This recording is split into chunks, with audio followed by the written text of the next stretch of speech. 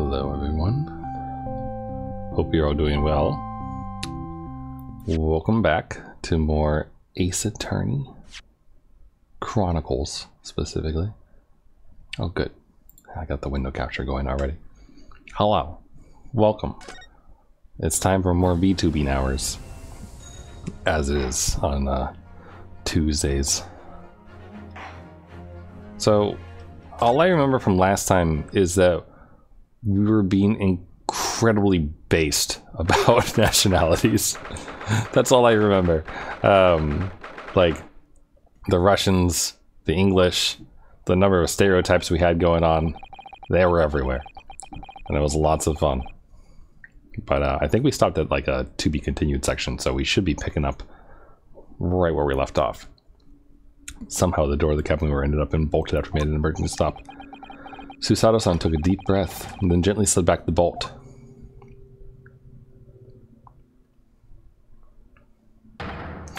You, what are you doing in Miss Pavlova's quarters? Ah, you both look unhurt. Good. Yes, we're fine. Thank you. What on earth happened? We heard something about how we were going to collide with another ship. Yes, it appears to have been a false report, though. Oh. How did that happen? There's a dense fog outside, so it's extremely difficult to see. Someone must have thought he saw a ship ahead. This person obviously triggered the alarm, and that's why he made an emergency stop. Everything is chaos. Passengers are screaming. Crews are running everywhere. The first class area is the only quiet part of the ship at the moment. Oh, I see. Someone triggered the alarm? Does that mean that someone pressed that button outside? Ah! You, you wicked intruder, dressed all in black! You are the devil! So, sorry? Me? Been called a lot of things before, but devil's a first. You opened my traveling case, how could you? What? No. No, we didn't touch it. That's right, Miss Pavlova. It was already open when we came into your cabin. Inspector. Um, yes? Arrest this man. I know he did it. He is a criminal. It is not enough that he has killed a man. Da, and he is a stowaway as well. A vixen promises not to steal chicken, do you believe? Ugh. Take him away. He is a trespasser as well as everything else. Stow it away. Trespassing, killing. She is right. You are a devil. It doesn't look good, does it? There's a cell below deck. Throw him in. Tomorrow we dock in Hong Kong. Then we give you straight to police. Wait, a cell? Please, Inspector Hosonaga, is there nothing you can do? This is a Russian vessel. I really have no jurisdiction here. After my last effort to appeal to the captain's good nature, I think I'm out of options. This is terrible. This is a real crisis. Gotta find a solution. Immediately. Oh, it's nice of them to give me time to converse and talk to people, I guess. How are we gonna get out of this? That's that's the real question. All right, let's see. Uh, I suppose we'll examine. Hosonaga, the dresses. Uh, God. what are you doing, Holmes? Sholmes?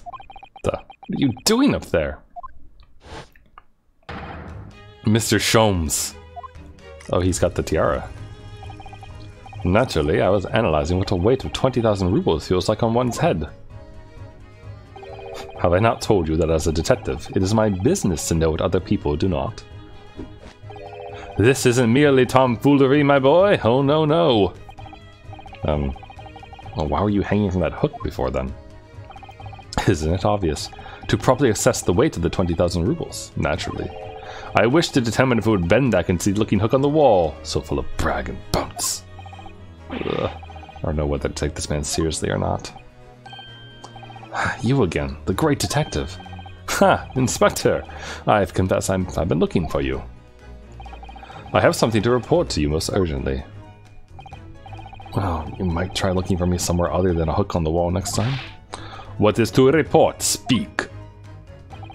An urgent report a great detective can mean but one thing. Yes. The case of the curious murder that took place last night, here on this vessel, the steamship Burya, has been solved. By me, naturally. But what? Really?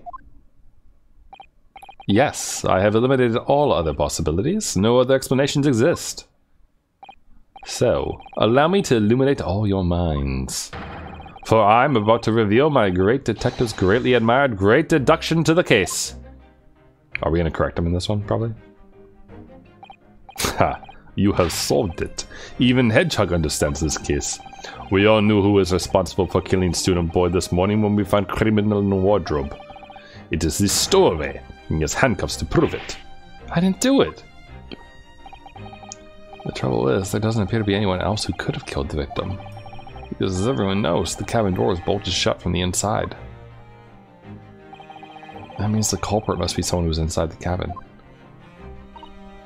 Yes, this what's called a locked room mystery in detective stories. Da, locked room. That is put.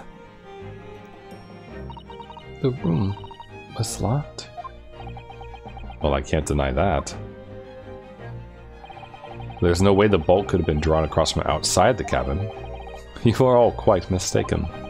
The cabin next door is not a so-called locked room at all. What? Oh, yes. There is another entrance. An entrance used last night by the culprit in order to gain access to the cabin despite the bolted door. What other entrance? We never discovered one. Why, it keeps open-mouthed at you even as we speak. The ventilator man. The ventilator? you think this is funny? I cannot even put my arm through that hole. Uh, that's because your arm's are as thick as tree trunks. You're suggesting that the culprit entered and left the victim's cabin through that tiny opening? It's not possible. but it is, dear boy. And last night, the victim even witnessed the intruder in the act of passing through the ventilator. Mr. Sholmes, do you mean... Are you referring to the words Cosmos Emma wrote in his diary? 1.23 am, I can hear a faint whistling sound. 1.35 am, what looks like some sort of speckled band is dangling from the ventilator grill. Precisely, my dear madam. But what does it mean? What is this speckled band? The answer to that particular conundrum is in this very cabin.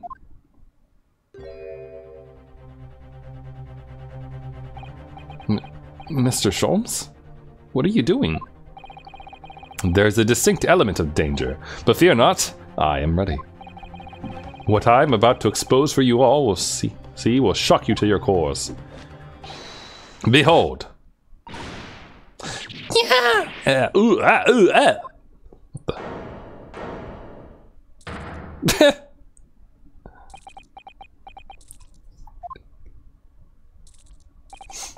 Allow me to introduce you all to the band. The Speckled Band. Uh, a snake? Indubitably.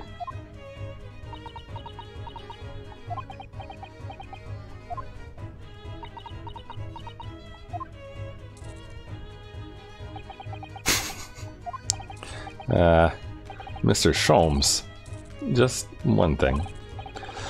Pray, what troubles you? Well, that snake isn't really speckled, is it? It looks more stripy, wouldn't you say? Hmm? Yes, you're you're right. I, I think in this case you'd have to call it the striped band, wouldn't you?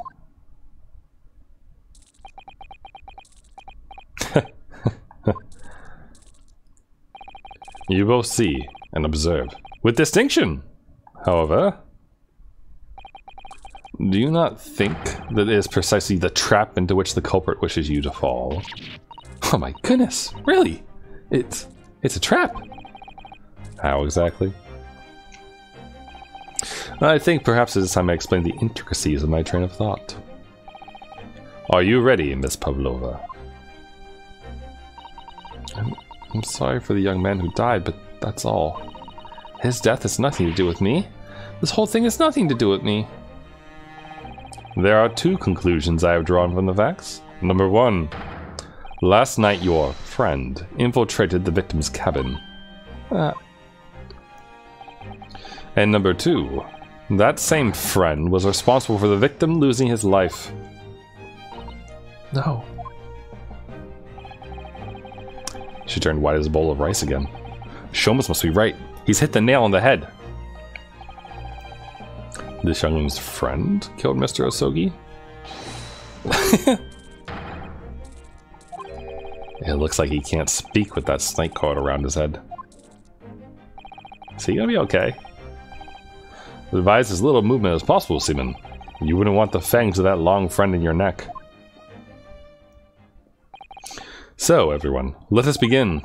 Herlock Sholmes is proud to present his logic and reasoning spectacular. Here we go. It's another one of these. Intruder's identity. Miss Pavlova, moments ago you claimed the following. His death is nothing to do with me. This whole thing has nothing to do with me. Yet you cannot deceive yourself. Yes, when you recall these horrid events, your aching heart smarts with pain. And it is that very pain that evidences your inextricable link to the victim's death. And so we ask, what was the nature of this intruder that stole into the victim's cabin on that portentous night? Why, naturally, it was the friend with which you boarded this vessel, was it not? As I suspected, another telltale glance. Without doubt, your friend is the writhing serpent we see before us. And yet, that fact leaves us in a quandary. The victim's written observations on the night in question tell of a speckled band, whereas, regrettably, this specimen's markings do not fit that description in any way. What explanation can we then give, pray? What was this sight that fell upon the victim's eyes last night? No, don't look at me. This has nothing to do with any of this. Oh, but it does. You have the answer to this quandary even now, hidden behind your back. Yes, that which you are trying, but failing, to conceal, can only be the snake's slowed skin. Evidently, after the subtle and horrible crime, this most deadly friend of yours shed its original skin. No? Hey, I don't know what you're talking about. Last night, through the ventilator visible in this cabin, your then speckled friend slithered next door. Using the bell cord on the other side of the bridge, the serpent silently descended into the victim's quarter. In the dim light, it appeared to the young gentleman who was about to lose his life as a speckled band. In summary, the nature of this friend of yours, which last night infiltrated the scene of the crime, is a rare breed of snake whose markings change each time it slows its skin. A snake so dreadful, we can only imagine to be found in the deepest depths of India.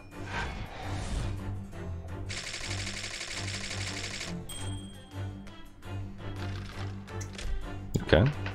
I don't I don't know how off he is. He's definitely off because she had a couple reactions that were wrong, but he's, he's pretty close to probably what actually happened. Moving on, we come to the heart of the matter the grim demise of the victim. How did this young man lose his life? And why? According to the data of which I have been apprised, it would appear that there was no visible sign of injury.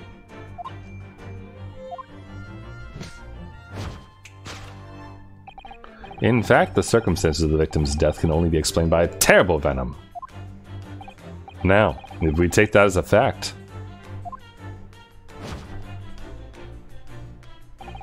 we can reasonably imagine that there remains evidence to affirm it at the scene of the crime.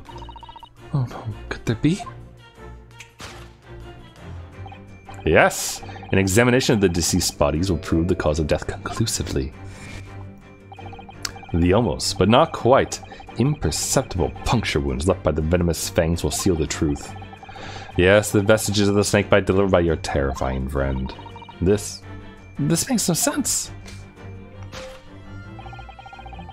There's no point feigning ignorance, Miss Pavlova. After the incident, you endeavored to hide everything, didn't you? But now your involuntary glance betrays the hiding place you chose.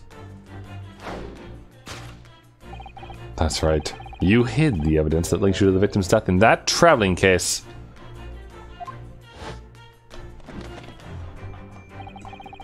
When we first met in this cabinet, it came to my attention that your case moved periodically. Your serpent assassin was restless inside, no doubt. You, you don't... It is telling that the victim made note of a low whistling sound that he heard minutes before his end. That was your signal, was it not? The sound you had used to train your serpent friend. To train? Indeed. You'd put the serpent through this ventilator and wait. After a period, you summon it back with a whistle. You couldn't know if the animal had done its duty, so you would listen for signs of life next door. If the victim appeared not to have been dispatched, you release the snake once more. Do you deny this snake has undergone such training? It's, it's not true. Having slithered through the ventilator and down the bell cord, the creature needed only to sink its fangs in once. And its venom would course through the victim's veins, ending his existence forever. That is the true nature of the speckled band that took the poor young man's life. I, I take it you're not buying this deduction of his, King, by chance.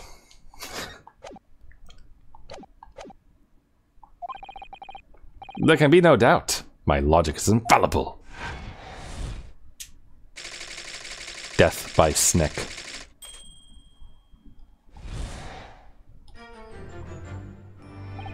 Thus concludes Herlock Sholmes' great deduction of the speckled band. I really do like these. the little deduction things.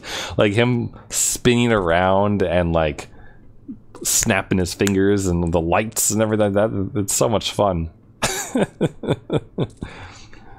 uh, it's going to be great to correct them. Just like we did before. Miss Pavlova is trying to pet Snake as a killing machine. There on the floor, you will observe a saucer of milk. The promise of food is the key to training any creature. I incredible! You've solved the mystery! Amazing! Your great deduction really lives up to its name. I see now why Herlock Sholmes has become such a household name. My dear man, it was nothing remarkable, as the Russians say. I could have done it with one left hand. Hmm. Could, could I venture an opinion, Mr. Sholmes? But of course. What's on your mind? It's just about your deductions before. Some things don't quite make sense to me. I welcome questions as to my method, and will answer both loudly and proudly. Oh, well, good. First of all, snakes are egg-laying creatures, part of the reptile family. You are well informed, madame. And reptiles, um, don't drink milk. Ah, it's really only mammals that like to drink milk, you see? So, I'm not sure it would be possible to train a snake using milk as a reward. no matter. No doubt Miss Pavlova used some other treat to encourage her pet to do her bidding. Milk was merely an example. The logic holds. Well, there's something else. Snakes have no ears. Ah! Yes, so I'm, I'm not sure it would be... it would really be possible to signal to the snake by whistling. But madame, What are the tales from Arabia? Have you not heard of the snakes that dance to the sounds of a flute? I think perhaps the performers played their music in time with the snake's natural movements. Oh, well, I see. No hands, no feet, no ears! These creatures are so inept as to be practically useless! Don't take it out on the snakes, Mr. Sholmes. Uh, there's one other thing. You have more? Snakes use the scales on their bellies to propel themselves. So, not really sure that a snake could manage to climb up a flat bell cord like the ones in these cabins. Then it should try harder. Please, don't be angry with me, Mr. Sholmes. The, point is, even if the snake had gone through the ventilator to the next door cabin, it couldn't have come back without help. What I'm trying to say is that there are a number of reasons why it's difficult to imagine the snake could have had a part in this.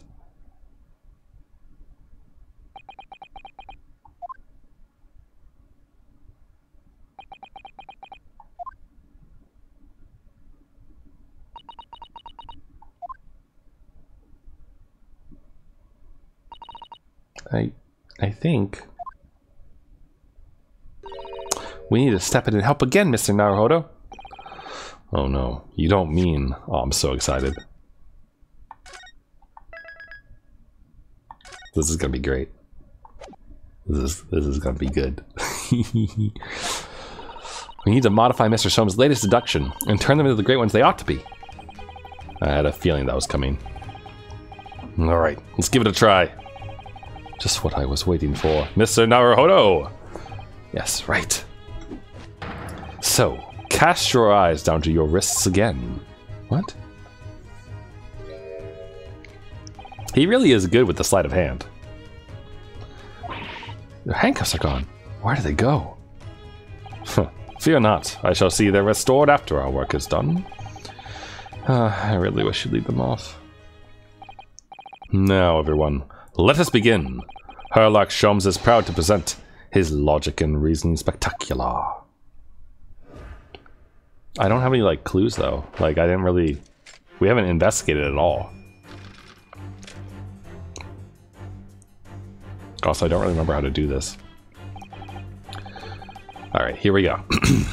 the correction to the deduction. Miss Pavlova, moments ago you claimed the following. Death has nothing to do with me. Whole thing has nothing to do with me. That you cannot deceive yourself. Yes, when you recall those horde events, your aching heart smarts with pain. Alright, let's figure out what's going on here. She does have a pained expression on her face. It's true. She looks as though Cosmos Summit's death is weighing heavily on her mind. But you're not sure Mr. Holmes has quite has read her quite correctly, is that? Could there be some other way to interpret her expression then? take a moment and really look closely at Miss Pavlova. What else is causing her pain? Well, probably this dead cat. Look, there's there's like a kitty cat over there. Also the snake. Oh, oh, she has a claw scratch on her. Hmm. You don't really get to observe the models too often. It's kind of nice. She's got earrings. Look at that her right ear. Left ear. Oh, she has two different earrings. Huh. Weird. Kind of neat that you can select the ears. But yes, no doubt it's this. Yes.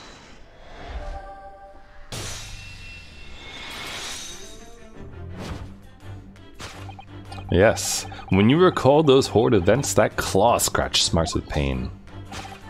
Indeed, and simple observation reveals that the wound is fresh. Miss Pavlova, did you in fact receive that scratch sometime last night?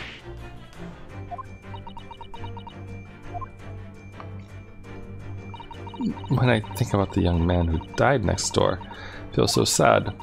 And when I am sad, the pain from this wound is worse.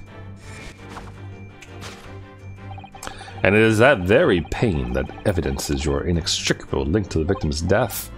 So, we ask, what was the nature of this intruder that stole into the victim's cabin on that portentous night? Why, Naturally, it was the friend with which you boarded this vessel with, was it not? Ah, as I suspected, another telltale glance. No, she's looking at the picture, right? Without a doubt, your writhing friend is... Sorry, your friend is the writhing serpent we see before us. Seems likely that the scratch mark on the back of Miss Pavlova's hand was made by this friend of hers, doesn't it? Except, snakes don't have claws, do they? Man, Naruhodo is so smart. Did you guys know that snakes don't have claws?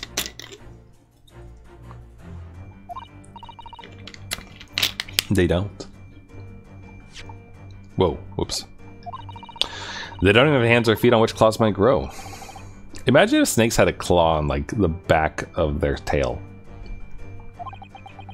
If that snake isn't her pet, what is? What's the true identity of this friend of hers? Let's follow her gaze. It's right there. The picture of the cat. Also the cat, I I guess more stereotypically cats drink milk. Though, isn't it only kittens that drink milk? Ah, look at the photograph in this frame. Must be something Miss Pavlova brought with her when she ran away. She is exceptionally beautiful, isn't she? Yes, that's true, but personally, it's a little black creature she's holding that caught my eye. Maybe we'd better take a closer look at this. Kitty! Look at the little cat Miss Pavlova is cuddling here. Oh, what a cute little kitten. It could vie with you, couldn't it, Naruhodo-san? For the blackest outfit. Hmm, a black kitten. And from the look of this picture, at least, Miss Pavlova seems very attached to it. Yes!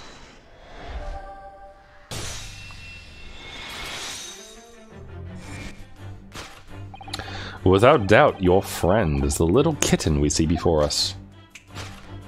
Yes, the scratch on the back of your hand makes that abundantly clear. Oh no. The whereabouts of this black kitten isn't clear, but what is clear is that you brought the animal with you when you ran away, didn't you? Yeah.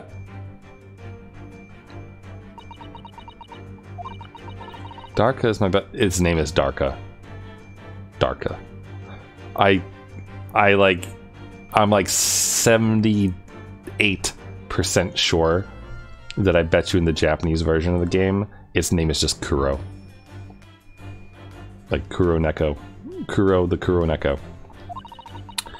I couldn't leave it behind. Darka would appear to be a Russian blue. And yet, that fact leaves us in quite a quandary. The victim's written observation on the night in question tell of a speckled band, whereas regrettably, this specimen's markings do not fit that description in any way. What explanation can we then give, pray? What was the sight that fell upon the victim's eyes last night? No, don't look at me. This has nothing to do with any of this. Oh, but it does. You have the answer to this quandary even now, hidden behind your back.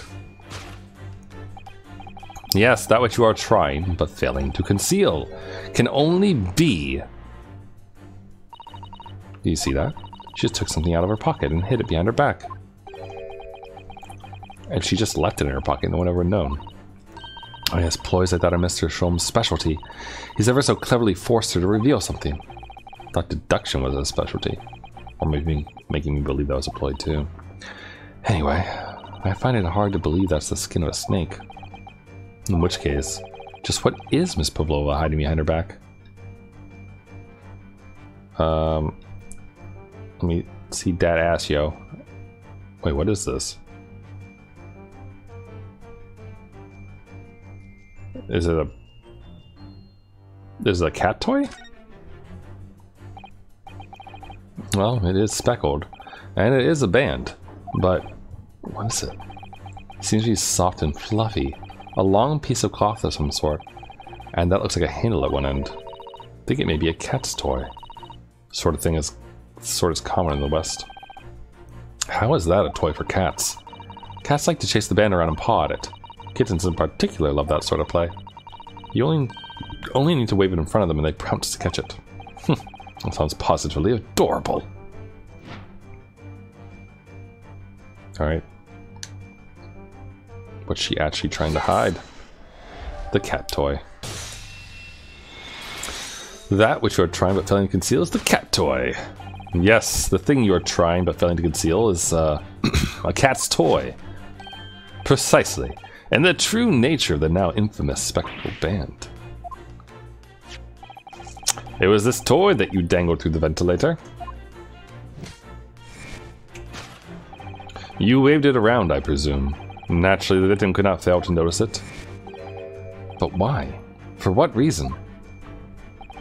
My dear boy, there can be only one answer to that. After her feline friend disappeared through the ventilator into the neighboring cabin, Miss Pavlova attempted to use the speckled cat's toy to incite the creature to return. Oh. In summary, the nature of this friend of Miss Pavlova's, which last night infiltrated the scene of the crime, is a blithesome Russian blue breed of a cat by the name of Darka. Wait, what if what if Asogi is just allergic to cats and died of allergic reaction or something? Although no, it can't be because he wouldn't have written his last words in Russian like he did. I don't think.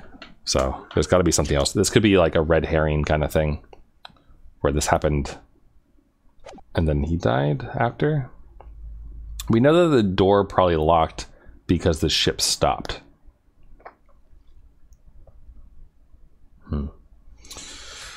A truly troublesome feline, young Darka's food to be. caged once found.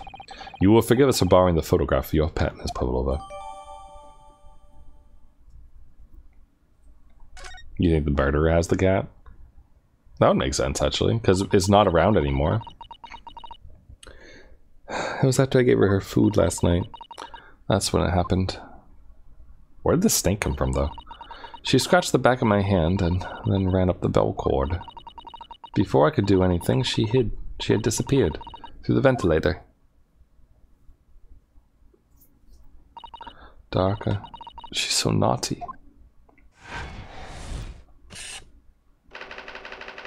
A beloved kitten. Alright, here comes some meat. Moving along, we come to the heart of the matter. The grim demise of the victim. How did this young man lose his life? And why? According to the data of which I had been apprised, it would appear that there was no visible signs of injury. Huh. In fact, the circumstances of the victim's death can only be explained by a terrible deduction. What Mr. Sholmes says is true. There are no signs of a wound anywhere in Kazuma-sama's body. That's right. But Mr. Sholmes seems to be unaware of one very important detail. Kazuma wasn't poisoned. Yes, it would seem so. Let's give him the information he's missing now. Uh, this... Has a cervical spine injury.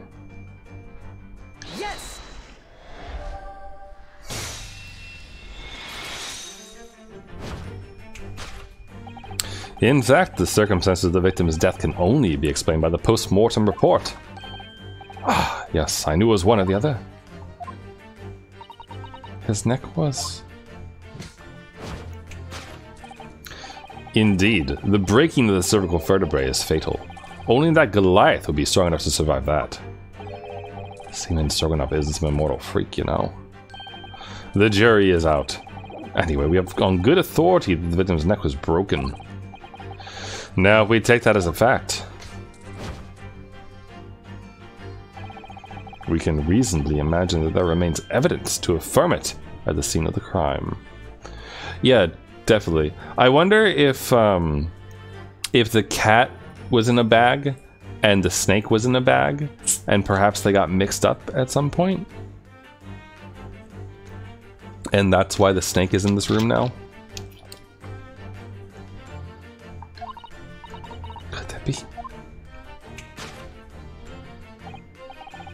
Yes, an examination of the deceased's body will prove the cause of death conclusively. Cosmo died because his neck was broken. In other words, he was probably struck by something or someone. It's a distinct possibility. No weapons have been found. Presumably Darka didn't silently creep up behind Cosmo dealing with fatal blow. Suppose it's possible he had a fall and hit the ground awkwardly. It could have been a terrible act of misfortune that he broke his neck completely by accident. Oh, yes, a bad fall could explain it. Uh, yeah, I guess so, because a bad fall would also explain the, um, the door being locked. Rather hard to believe in Cosmos, though. He wasn't a clumsy man. Hmm. We need to fix this deduction somehow. Is there anything on the scene that could explain what happened? Uh, I'm not sure exactly what we have, so I'm going to go ahead and save real quick just in case.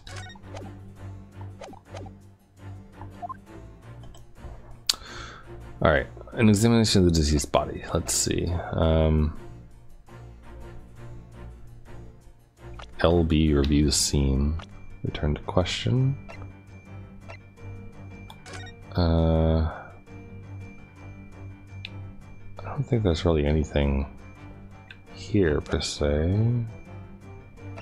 Prove the cause of death.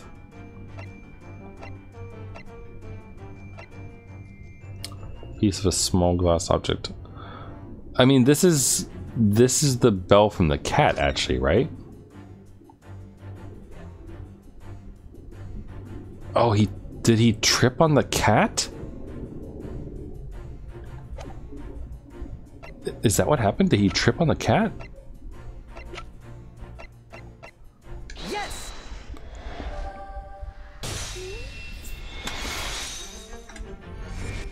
Yes. An examination of the mark on the floor will prove the cause of death conclusively. This particular mark, so prominently visible next to the victim's body, is a deposit of shoe polish. Shoe polish? Indeed. Positively identified by a little analysis device I constructed, which I carry now as a matter of course. Beeswax, tallow, and dye were my results. The undeniable ingredients of shoe polish. What is tallow, by the way? Like, I've, I've read it before in books and those things, but I don't actually know what tallow is. It's, it's like a burned something, right? Is it fat? Tallow is a rendered form of beef or mutton fat, primarily made up of triglycerides. In industry, tallow is not strictly defined as beef or mutton fat. It's just animal fat that conforms to certain technical criteria, increasing its melting point. So it's beeswax, fat, and dye. Interesting. Now we know how to make shoe polish, I guess. And the color of the polish is a perfect match to the color of Mr. Asogi's lace leather shoes. Looking at this mark, it's not hard to imagine what happened. For some reason, Mr. Asogi must have caught his foot at that point on the floor and tripped. Please, no. And by a dreadful turn of misfortune, caught his neck against an immovable object as he fell to the floor. Suffering a fatal blow to the spine, the victim's vertebrae shattered, and in that instant he lost his life. No. Ah. I think that she wrote it. Because if he severed his spine, he didn't write shit. I don't know anything about this. Is that really true, Miss Pavlova? And what about the evidence left at the scene where Mr. Asogi lost his life? Yes. The facts are clear to me. You did all you could to conceal the incriminating evidence. But now your involuntary glance betrays the hiding place you chose. That's right. You hid the evidence that links you to the victim's death. Probably on your desk. Don't believe it. Cosmo someone merely tripped over and... And now he's no more? It can't be true. I refuse to accept it. I know it's hard to believe, but the mark on the floor does seem to suggest that's what happened. But... I know this part of Mr. Sholmes' deduction is right. Miss Pavlova is trying to hide some evidence that would prove it. Here in this cabin, somewhere in the direction that she just cast her eyes. Where, I wonder? Let's have a good look around. The answer must be here somewhere. I'm gonna bet you that it's probably the other half of the bell. Ready? We're gonna we're gonna turn. Uh, can I? Let's examine the wastebasket. Alright, perhaps on the first. Um, let's see. Uh, there's not much rubbish in there yet. Aha! Ho ho ho ho ho! What's that? It's a broken piece of glass, isn't it? Yes, it is. I feel like I've seen it somewhere before. And if it looks familiar, perhaps more than your mind simply playing tricks on you. Yes!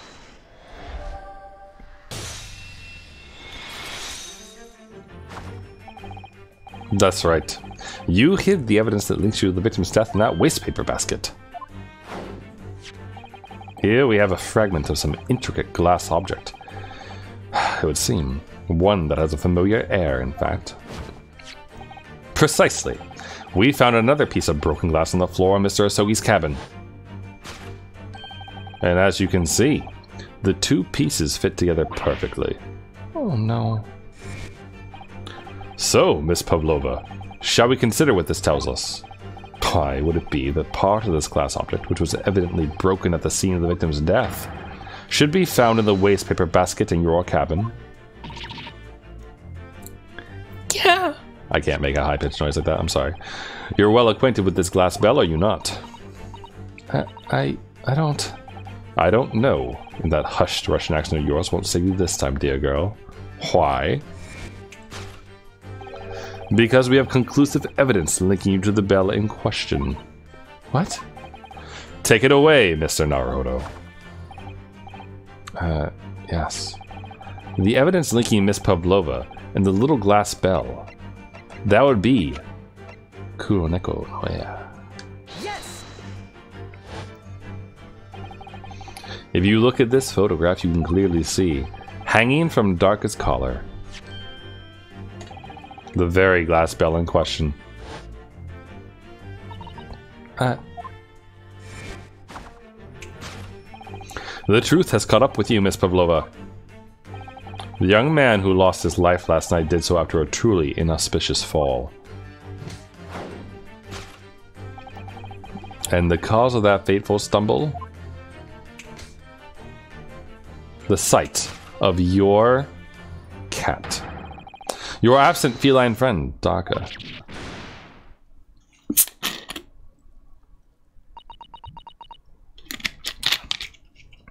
I almost wanted to say a different word there. I couldn't. I couldn't tell anyone. I'm sorry. Death by tripping over a cat. What a way to go. Deduction complete. Elementary, my dear chat.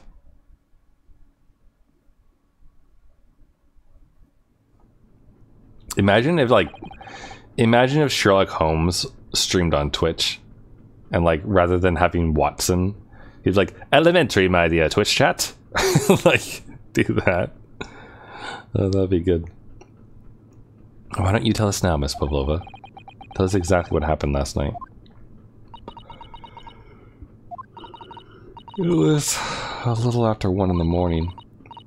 It was so late, but I hadn't had time to feed Darka, so I gave her some food. And then, all of a sudden, she scratched me and jumped out of my hands. People do say that cats become very anxious and nervous in new environments. She was so fast. She disappeared through the ventilator before I could stop her.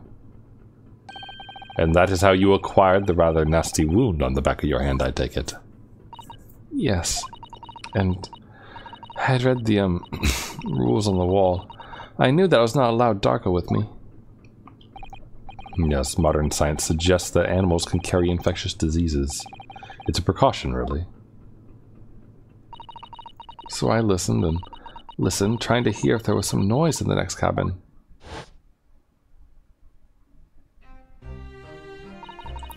It was very quiet. I was sure if someone was there, he must be sleeping. So at that point, you thought it safe to try to lure the kitten back again. By dangling the end of the toy through the ventilator and into the adjoining cabin. Dark always loves this toy, but it didn't work. Nothing worked.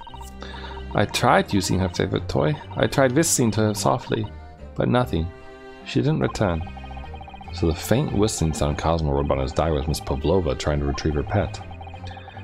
Cats have a propensity to, to remain hidden in the shadows when frightened. Yes, so there was nothing else I could do. I just had to wait until she had calmed down. But then... Meow thought. Yeah. I, I nearly passed out with shock. I heard her cry out and then... Oh, it was such a dreadful bang. Then afterwards, nothing. It was totally silent. Cosmo was.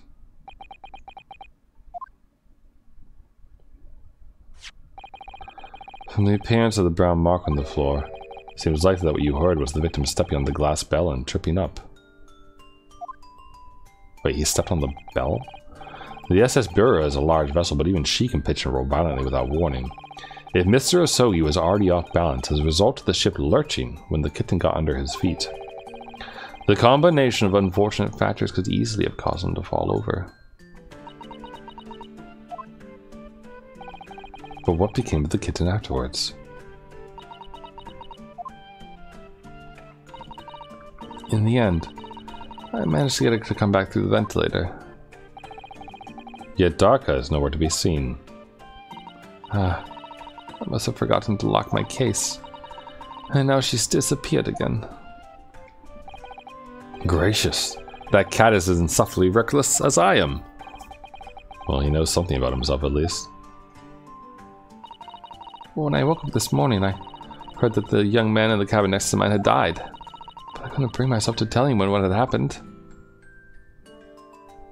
I was too scared. Scared that they would send me back. Hold on a minute. What about the snake? You're right. Where is it? If the snake isn't your friend, Miss Pablo, whose is it? And where did it come from? What on earth is such a dangerous creature doing on board this ship? Uh, it's clearly Strogonoff's. Oh, I didn't say. Snake is my friend. His name, Pierotto. Hmm? What? What? Th that snake belongs to you? He escaped from cage when emergency alarm sounded. I was looking for him. I did not expect him to find expect to find him in here. Yes, how did that snake get into this cabin? But animals are not permitted on board. we are at sea for one year. You want to be so long without close friend? Without someone who understands? Couldn't you find someone a little more human who understands you better? But my dear burly fellow, a gargantuan venomous snake. Surely you can appreciate the danger you're putting everyone in. No venom. Hmm? Pierrot's coat does not have venom. He is harmless. Very long but very gentle. He is adorable. Like Granny.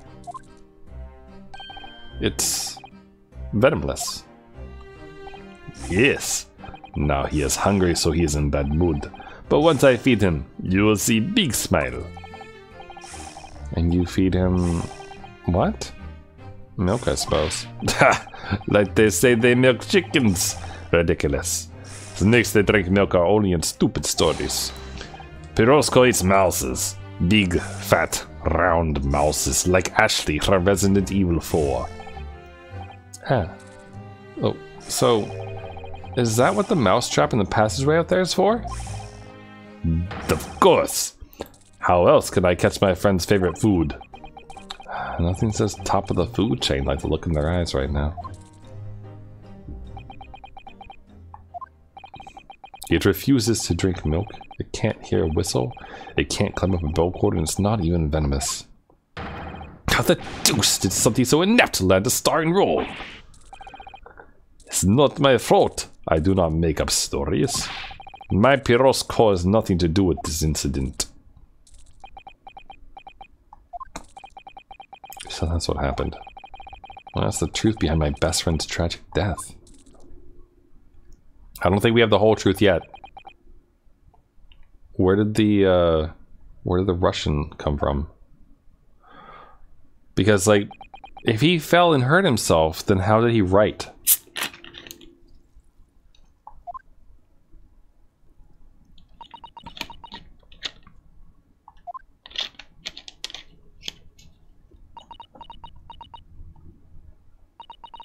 Miss Pavlova. I understand the difficult situation you found yourself in, and I do sympathize. But please remember this. A young man lost his life. If you're going to attempt to cover up your guilt with lies, then... Then no matter what the circumstances, I cannot forgive you. But... Are you talking about, Miss Mikotoba? What lies? Miss Pavlova just confessed everything. Not true. Just a series of unfortunate events, an accident.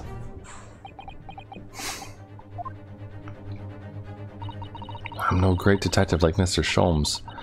I don't have a gift for knowing the truth. But even I can see that was not the truth. Don't you agree, Mr. Naruhodo? To be perfectly honest, yes. There's a discrepancy in Miss Pavlova's story, I'm sure of it. Just can't put my finger on it.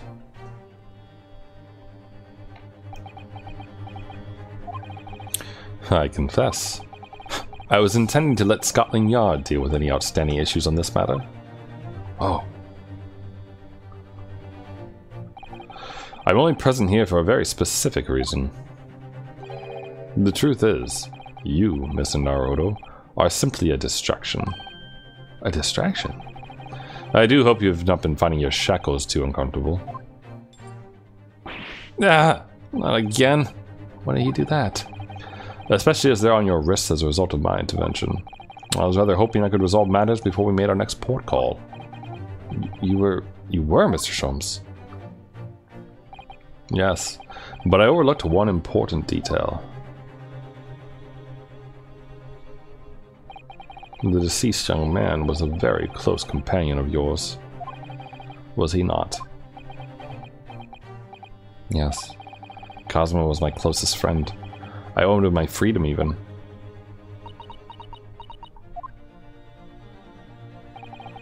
In that case, we must follow this to its conclusion. No further distractions. You must uncover the real truth here, Mr. Naruhodo. Yes, whatever that may be. The key to this is the discrepancy in Miss Pavlova's story, I'm sure. If I can chase that down, maybe the truth will become clear. The truth about how you really died. About how that your cabin really came to be. Alright, I'll see what I can do. Excellent. Thank you, Mr. Naruhodo. So then, shall we begin? Yes. What we should ponder first is the victim who lost his life in a cabin that was bolted shut from the inside. Was this truly an unfortunate accident? Or was it in fact no accident at all? That is what we must establish in the first instance. But we've already established it, haven't we? The man tripped over the kitten that had climbed to his cabin via the ventilator. Tragic, yes, but still an accident. Wait, let's just take a step back. It doesn't make sense if that's really what happened, does it? Going to have to ask you to spell it out for me, I'm afraid. Yes, it's starting to take shape now. There's a clear contradictions between the facts and Miss Pavlova's story here. The evidence is right there in Cosmo's cabin. It's undeniable. His death couldn't possibly have been a mere accident. Really? Let us show our hand, Mr. Naruhodo. Time to present the evidence and save our game.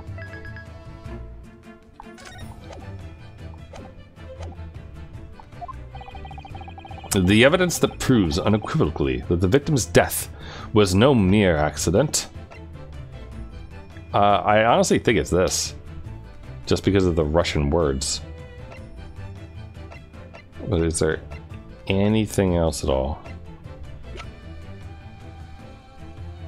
Well, there's also the ship's log that are like this is very conspicuous as well, right? That there's nothing after 2 a.m. So, no mere accident.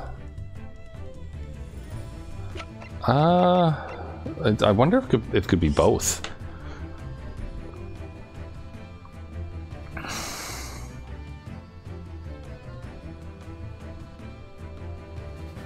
Because this looks like they framed us. Yes! It's either this or the ship log. The truth is clearly recorded in this photographic print. There's no way that Mr. Asogi could have left this message on the floor. That script. It's Russian, isn't it? Indeed it is. The word written means wardrobe. I see what you mean. Most people leave a dying message in their native language. Japanese is his in this case. But, but maybe he was studying Russian. It is a simple language. He, he could have picked it up very fast. That doesn't seem likely. It's actually not the point. It makes no difference whether he knew Russian or not. Sorry? What do you mean? Exactly what I said before. There's no way that Mr. Asogi could have left this message on the floor. And the reason why is clearly explained in here. Damage to the cervical vertebrae resulting in instant death. Instant death.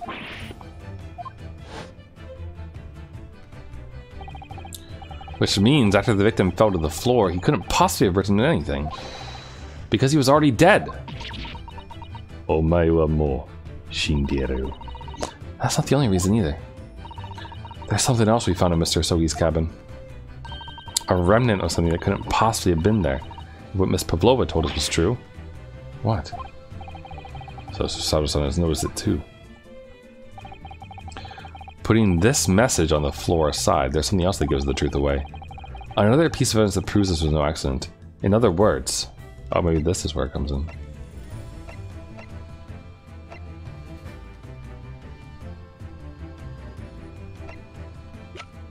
I think it's the ship's log. Yes! What point are you trying to make with that evidence? Starting to see how Cosmo's death really happened, I think. I think that you are starting to see nothing of the sort. And that was the evidence to prove it. Okay, not the ship's log.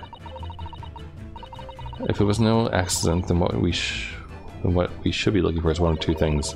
The absence of something you would expect to find at the scene of an accident, or the presence of something you wouldn't. Most competently put, my dear madame. I see. I confess your rather languid IC doesn't fill me with confidence, Mr. Naruhodo. Don't worry, Mr. Naruhodo. I believe in you. Well, more than Mr. Sholmes does, anyway. Okay. Um. Uh.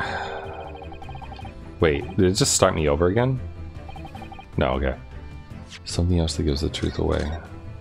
Okay, so it's something unusual in the cabin.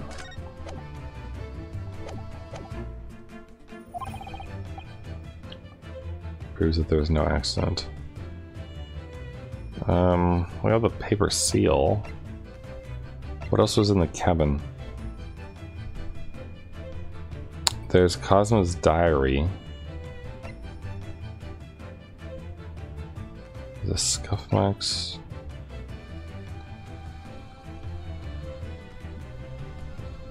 Uh, gosh, I don't. I don't know. What am I missing here? The, I mean, this is the thing. This is wardrobe, sure, but or sorry, that says keep out. Would that be? That wouldn't be it, right?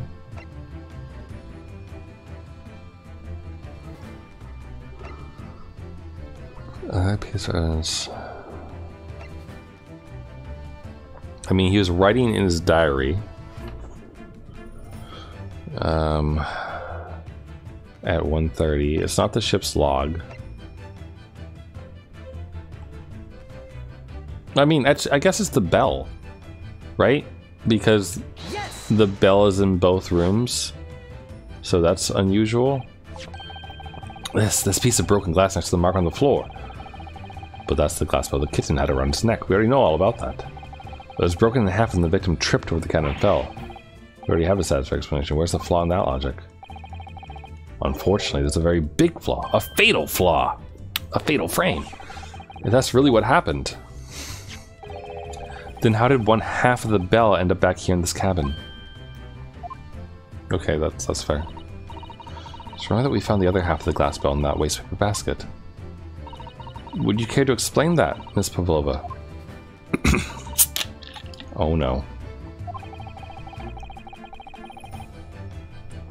Both these pieces of evidence clearly point to the same conclusion. That when Mr. Asogi died last night in his cabin, there was someone else in the room. And that same person deliberately arranged the scene to disguise the truth, in order to cover up his or her own guilt.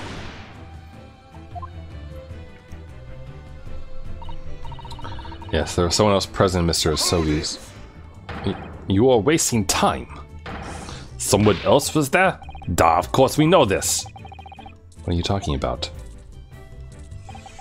Bulkhead was bolted shut from inside. There was no way in and out. Oh, yes.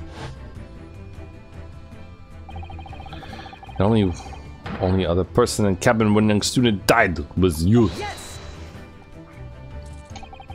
It's true, I was in the cabin when it happened. You were shut inside the cabin wardrobe, to be precise about the details. But I don't know Russian. There's no way I would have left that message. Not would have. There's no way you could have left that message, to be precise about the details. Would you mind? Forgive me, my dear fellow. As I was saying, the person in question wrote the word wardrobe in Russian on the floor. In an attempt to incriminate me for the crime, even though I had been asleep in there the entire time. And then, the same person picked up the broken glass bell that had fallen to the floor, for fear of it becoming evidence that would show how Mr. Asogi really died. But why wouldn't this person have taken all the pieces of the bell away? Leaving half behind was always going to raise questions.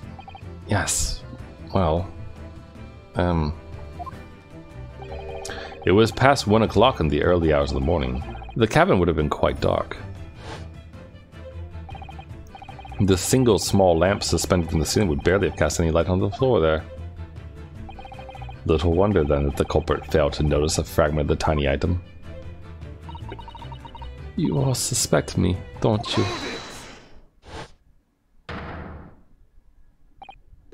Seaman Strogenov. Nina is woman of sea. She is daughter of strong sailor. Two years ago they noticed her dancing skills and she went away to join ballet company. But before, she was dancer on this ship, a member of ship's band. You do not accuse ship's angel of being criminal. So that's it. You say that when young student died, Nina was there in his cabin? But that is not possible. I give my tooth. Hmm, well, this is almost interesting. And why would you give your tooth, pray? How can you be so sure? you are a great detective, you should know. Look through the eyes. Cabin bulkhead was but a shot from inside. Nobody could go into cabin. Not Nina, not anyone. Or you want to tell me the killer can walk through locked doors? Yeah, it's impossible. Ah, he's right. But wait, I've read about this in detective stories. People often tie threads around door latches so they can open and close them from the outside.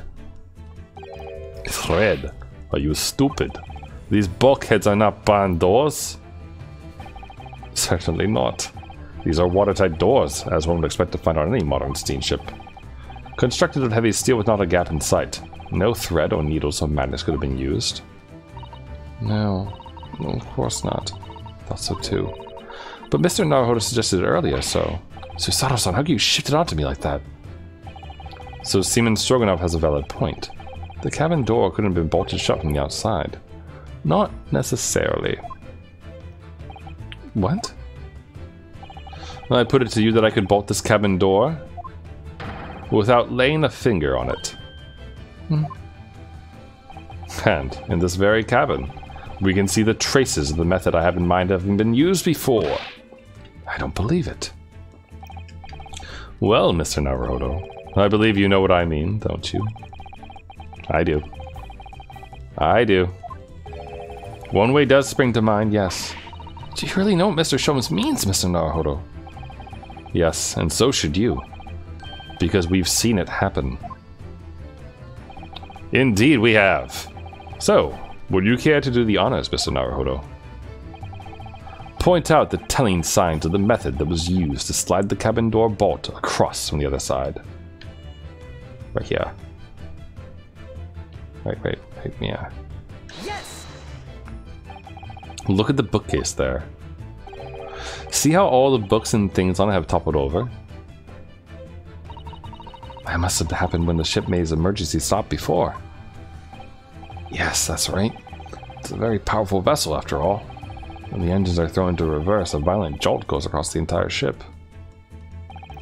Any small objects that aren't fastened down are bound to fall over. I believe, yes, it's what's known as the force of inertia acting on the objects.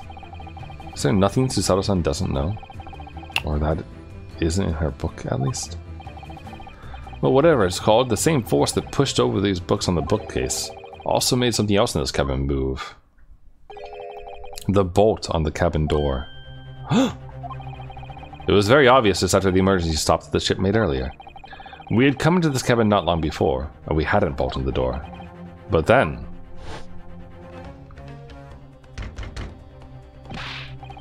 Hello? Is anybody in there? Shout if you need assistance! Well, that sounds like... Inspector Hosonaga. Ah, yes! That's it!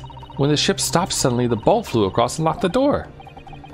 Yes, it's made of metal, but it's small and light enough to be moved by the ship's sudden change of speed. Or the force of inert ineptia, if you want to call it that. Uh, are you trying to say that last night, after Mr. Asogi was killed?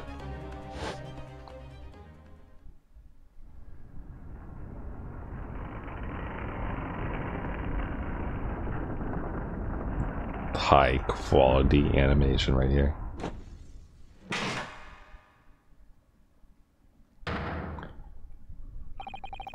The SS Burya made another emergency stop?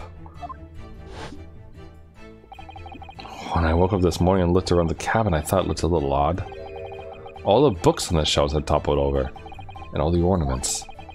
It was almost as if someone had run their hands across the shelves and deliberately knocked everything over. Huh. Yes, I remember that. I stood them all up again, didn't I? Then when we came to this cabin, we were surprised to see the same thing in here. All the books and everything had toppled over just like in Mr. Asogi's cabin. oh my. Do you have anything to say about this, Miss Pavlova? Are you out of your mind? You say Burya made emergency stop? It does seem a little far-fetched. How could that possibly have happened? Unless you're saying that the culprit is actually someone from the engine room? Oh, it is simple enough. Hmm? Are you forgetting the button in the passageway outside? You used to trigger the emergency alarm. Ah, yes, of course. There was a notice, wasn't there? Telling you only to press the button in times of emergency. On dark nights when the fog is dense, the captain cannot afford to rely on the eyes of his lookout alone. Hence the placement of a number of buttons around the vessel to allow any crewman to raise the alarm. The sort of button one is almost compelled to press to satisfy one's curiosity. Wait, it was, it was you? When the button is pressed, two things happen in the interest of safety.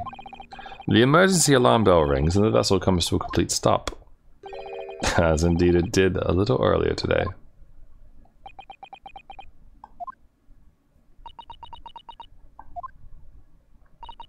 Mr. Sholmes, surely it wasn't you who... As I always say, a button has but one purpose in life. To be pressed, whatever the occasion. He sounds almost proud of himself. How dare you mess with sheep! I report you to Captain. You are in much trouble now. no, no. I'm sure all that can wait until later. Let us not overlook the fact that we have now learnt a valuable lesson. When the vessel makes an emergency stop, the bolts on the cabin doors slide closed. So, what we must now consider. This all comes down to one thing. Last night, after what happened to Mr. Asogi, did this ship make an emergency stop or did it not? You are idiots. Burya is a huge ship with many passengers. If we make emergency stop, even in the middle of night, there'll be chaos everywhere. What are your thoughts, Mr. Naruhodo? Well, it's certainly possible that some kind of emergency happened last night. We have evidence to support that idea. Really? What evidence, Mr. Naruhodo? Fascinating. Do show us, my good man. What evidence promotes the theory that some emergency grip, emergency gripped this vessel last night? I do believe this is the ship's log. Yes. Seaman Strogenov, it's your duty to patrol the first class area of the ship. Isn't that right? Da, that is correct. Why? And the ship's log here, this would be where you record the details of your duties. What are you doing with that? That is mine.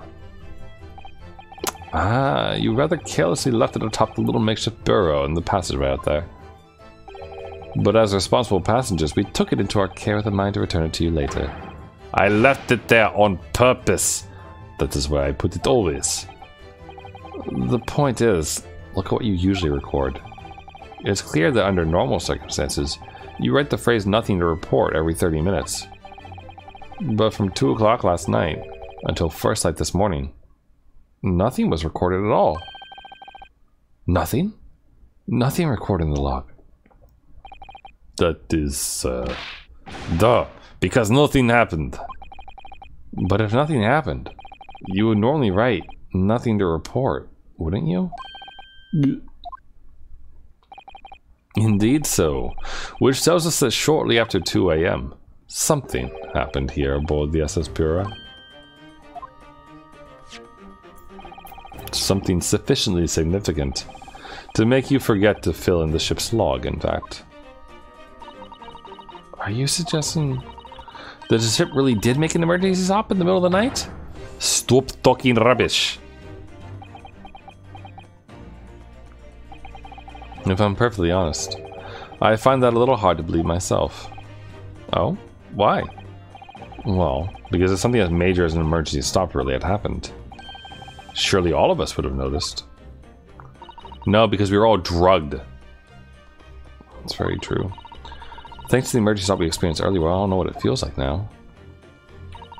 The ship lurched so violently, and the alarm bell was so loud. Can't imagine that anybody would sleep through that, if it happened in the dead of night. Well, no, that's that's a good point. what of the throbbing? Uh, sorry, what do you mean? Your head, man. The throbbing on your head since this morning. We have all suffered with it. Ah. Uh, oh. Yes, I, I have had a headache, you're right. In fact, haven't been feeling myself since I woke up today. Nor have I. My head has been feeling heavy ever since dawn. Yes, you've all been afflicted, haven't you? Just as I suspected. He's right, my head's been throbbing today too. And since eating dinner yesterday evening, everything has felt sort of hazy. Can't really remember anything that happened after I climbed back inside the wardrobe. Then the first thing I noticed this morning was the throbbing pain in my head. I had already been dragged out of the wardrobe. And had those handcuffs put on me by that point. Why didn't I wake up when all that was happening to me? Tell me, Mr. Naruto, you boarded this vessel as a stowaway, didn't you? Oh, uh, well, yes. Sorry. The stowaway class of accommodation doesn't usually include meals. What did you survive on? Ah, well, Cosmo looked after me. He was always happy to share his meals. So you enjoyed some of the whole roast chicken dish that was served yesterday evening, I take it? Yes. In fact, I had all of that. Cosmo wasn't fond of chicken. Oh, really? So the victim didn't eat any of the chicken at all? That's right. You didn't touch it. Is that relevant? My dear fellow, does that not strike you? Oh, Mr. Sholmes, do you mean to say that there was something wrong with the chicken? I do. No. Really? Is that really true? The meal prepared for the passengers last night had been tampered with. Tampered with by the addition of a sopor soporific, designed to induce a very deep slumber in those who consumed it. A sleeping drug? Do you mean whoever did this laced every meal with a sleeping drug so no one would notice the ship's emergency stop? Mr. Naruhodo, of course that's not what Mr. Sholmes means. What a far-fetched idea. Precisely.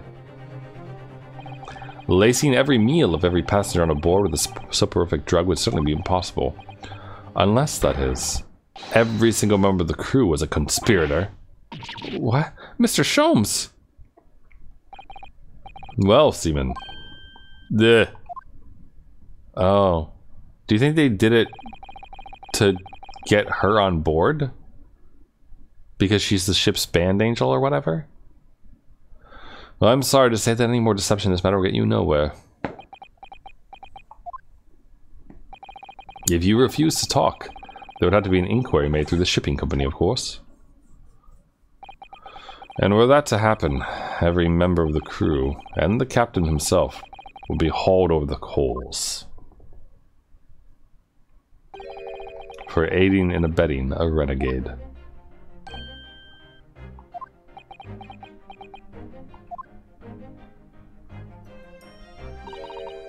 Please, no more. I will tell everything.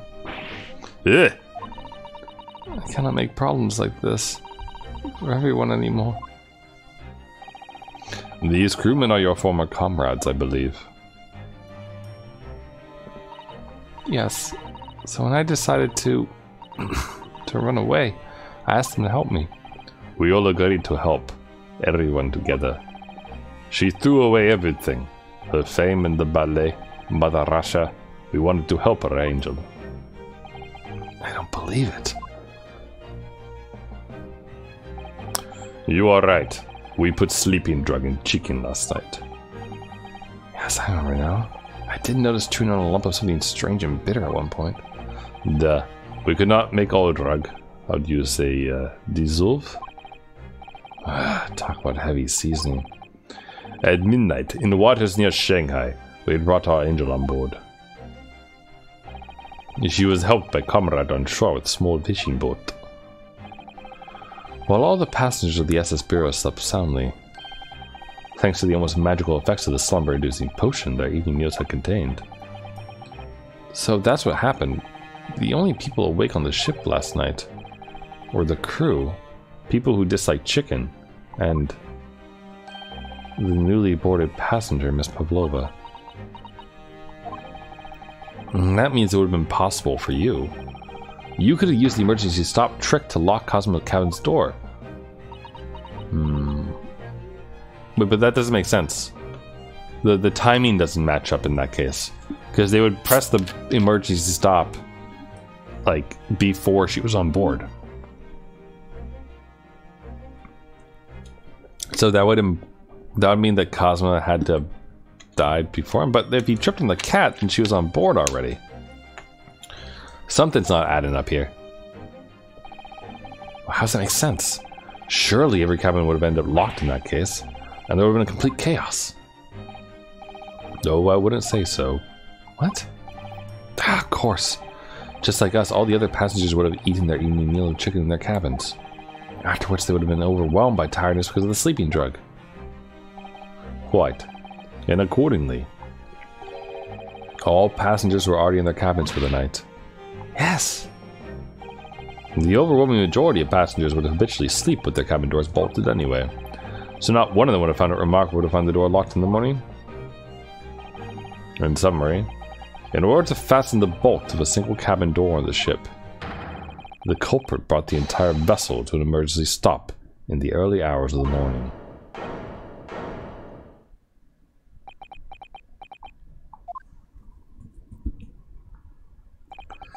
You have talked a long time and said many things. What is the point? The point is what I said earlier. There was somebody else present on the scene when the victim lost his life last night. Someone who left a message in Russian on the floor in an attempt to incriminate another. Someone who tried desperately to hide the broken fragment of glass that would reveal the culprit's identity. Then someone who abused the ship's emergency stop procedure in order to lock a door. All told, a busy night. But, but, Hey, I don't know about any of this. I'm just a little girl. you like to speak with your long English words and explain your clever ideas. But I am sailor, and sailors don't listen to long, boring stories we don't believe. Sailors like me, we trust only what we see with our eyes. A laudable trait. What? I am quite of the same disposition, my good man. Observation to me is everything. Mr. Naruhodo, Oh, yes. do you hear it? The accusatory cry of guilt on the wind? What's what accusatory cry of guilt? S- sorry, you you've lost me. Proof of involvement, man. But you can't hear such a call with your ears. No, you must hear it with your eyes, for observation is the basis of all deduction. What are you talking about? I believe the time has come for one final logic and reason spectacular to expose the truth. So, Mr. Naruhodo, your assistance, if you please. With what exactly, Mr. Sholmes? With observation, my dear fellow, just as I said, of these two provocateurs. Observation? If you remember, Mr. Naruhodo, we know that somebody tried to fabricate evidence, don't we? By tampering with the scene of Mr. Asogi's death. What we're looking for is some trace of evidence that one of these two was there when it happened. Precisely. You are delightfully quick to grasp my meaning. Alright, I'll see what I can see. We're looking for a trace of evidence that shows someone else was there last night when Cosmo died. Oh, they they wearing like shoes. Uh uh Yes!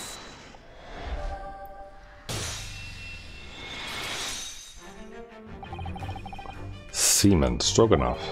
You seem to have quite a large purple stain on the back of your white uniform there. Yeah. Uh, yes, I uh I don't know where the dirt comes from.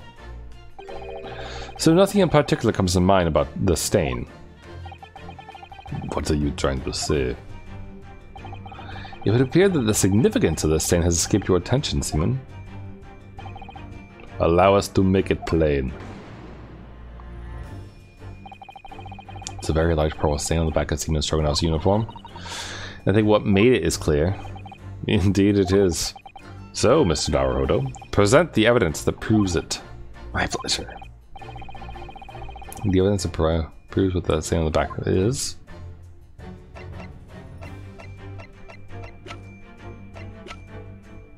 I mean, this?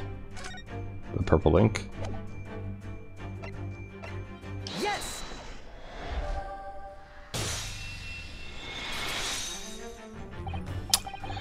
Yes, it's this photograph and the ink it shows.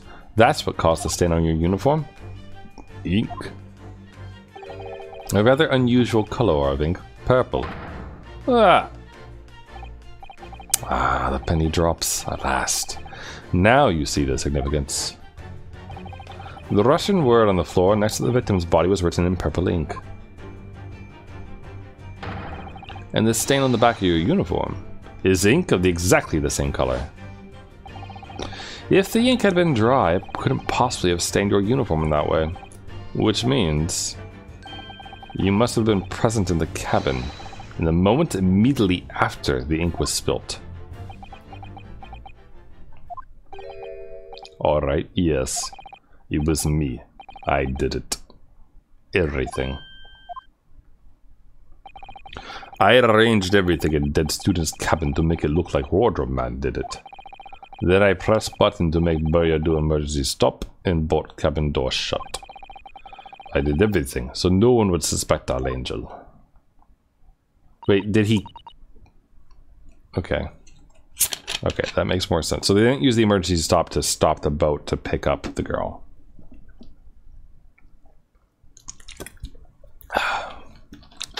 Sorry. Gotta gotta drink lots of water when you play this game. Don't worry, Angel. Let me do talking. It was after one in the morning I was on duty patrolling passageway. Then our angel came to me. She was white, like sheet. Bif, please, you must help me. I went with her. The door to cabin number one was open. When I looked inside, I saw student boy on floor. What happened here?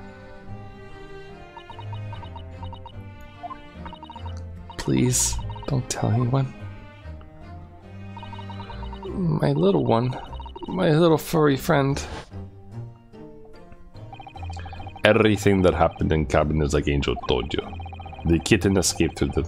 Oh, sorry. The kitten escaped through the ventilator in Mr. Asogi's cabin. Then he tripped over it and broke his neck when he fell to the floor? Yes, that is right. So after the incident when the cat ran away, Miss Pavlova then visited the cabin next to hers, only to find his occupant lying lifeless on the floor. She said she was worried when she heard sound of something falling on the floor. That's when she went to look. No, Angel?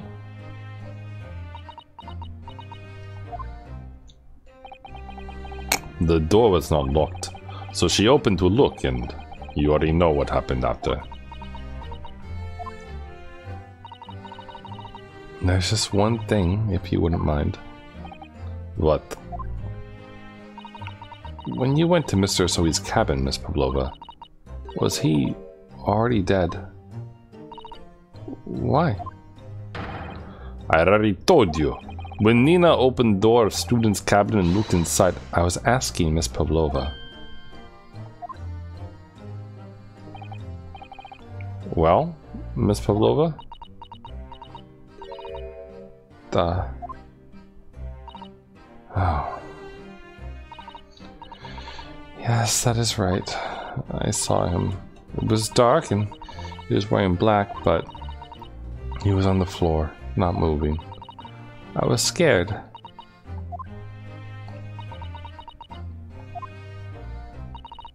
I understand.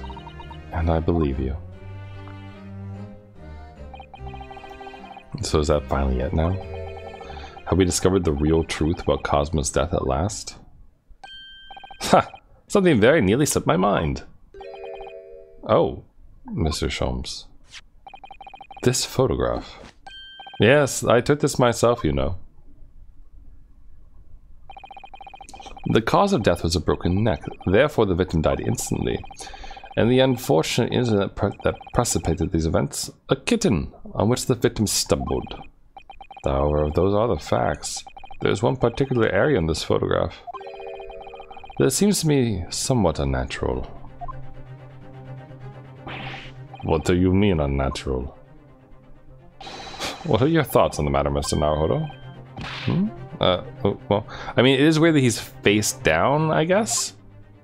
I don't really know what angle he needs to fall to, like, break his neck. But... If Cosmo tripped and fell, by some terrible stroke of luck, a bad luck broke his neck, which part of this photographic print seems unnatural?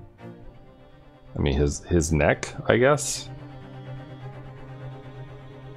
His hands clenched.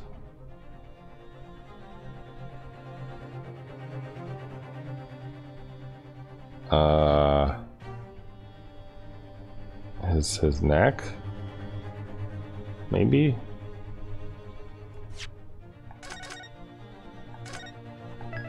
I mean, the writing's unusual, but I feel like we've already established that he didn't write it. So, Yes. just just the neck then, I guess. Is it is it here? Nope.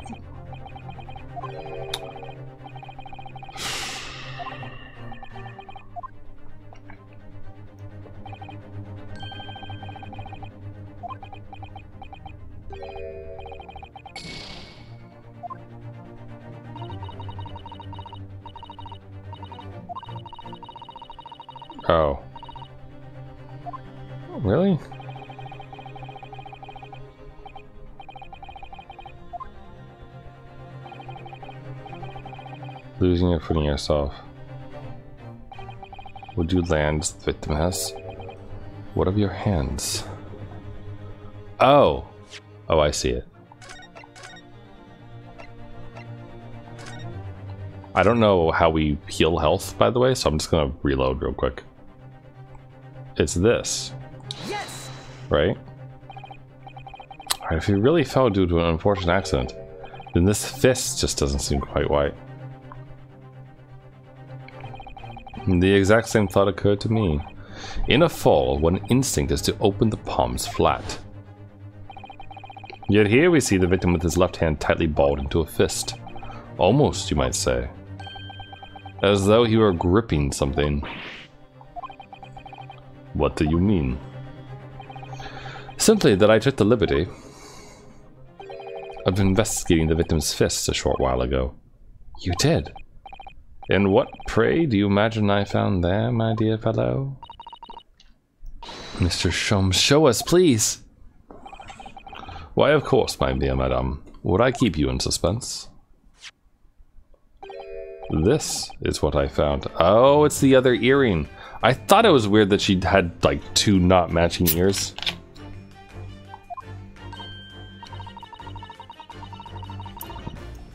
Oh, a crescent moon with a little gemstone in the middle. Yes, you're right. A crescent moon. It's very pretty, but what does it tell us? Tells us nothing. I'm not so sure. That crescent moon looks... It looks familiar somehow. I'm sure I've seen it somewhere before. Observation, Mr. Naruhodo. That is the key. What? The truth is now tantalizingly close. How that crescent moon come to be in Cosmo's clenched fist? This is the final clue. The last piece of the puzzle. Ask yourself, what does this little crescent moon mean? What significance has it? And observe. Find the answer with your own eyes. Right here. But also left ear.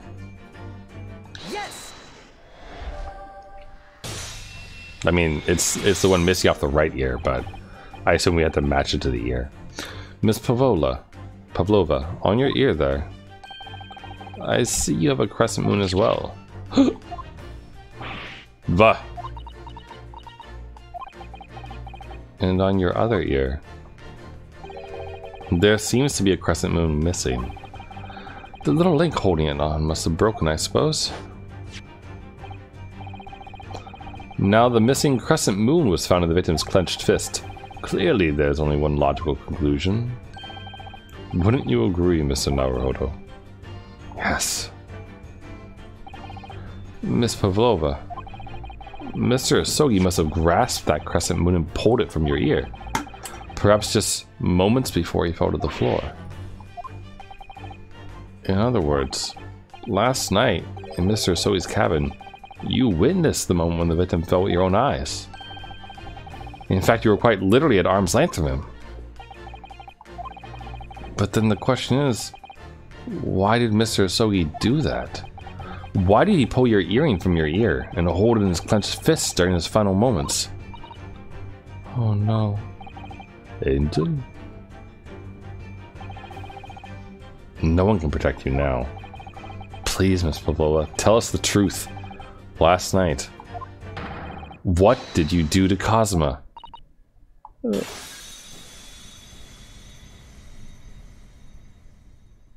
Interesting. I wonder. I'm I'm wondering if this relates to that renegade somehow, like the person from the the what's call it. When I think about everything that happened yesterday, it was too much. Running away, the fishing boat in the middle of the night, trying to climb onto this huge ship. I. When I was at last in this cabin, I could relax after this horrible long day. Darka, wait!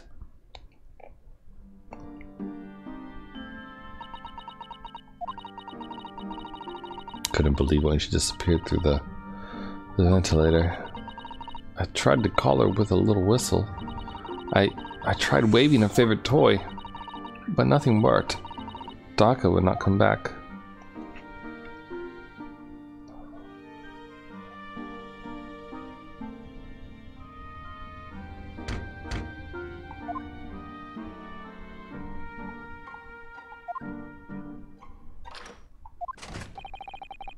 What are you doing here this time of night, Inspector? Oh. I'm sorry. I thought it was a friend of mine.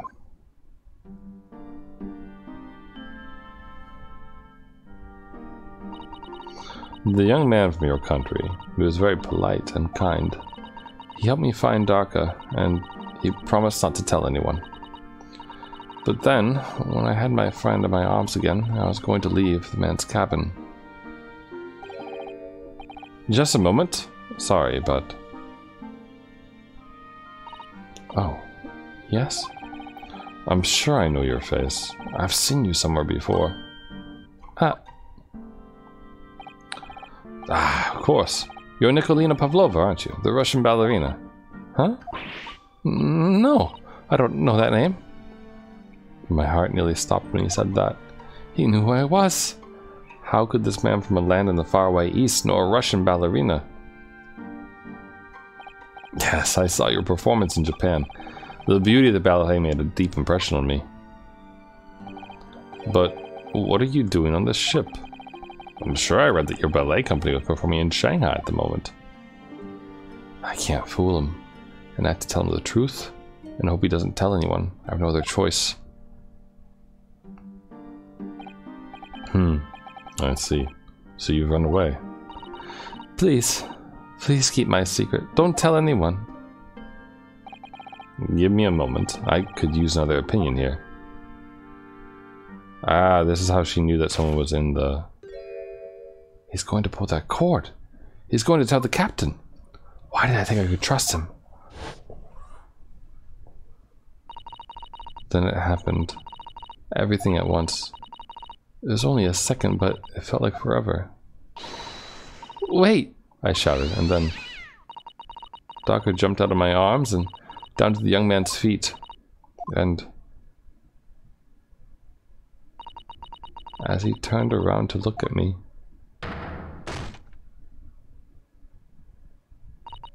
I I pushed him. I don't even know why. I don't know why I did it. I, I was just so scared. And I had to stop him from telling anyone about me.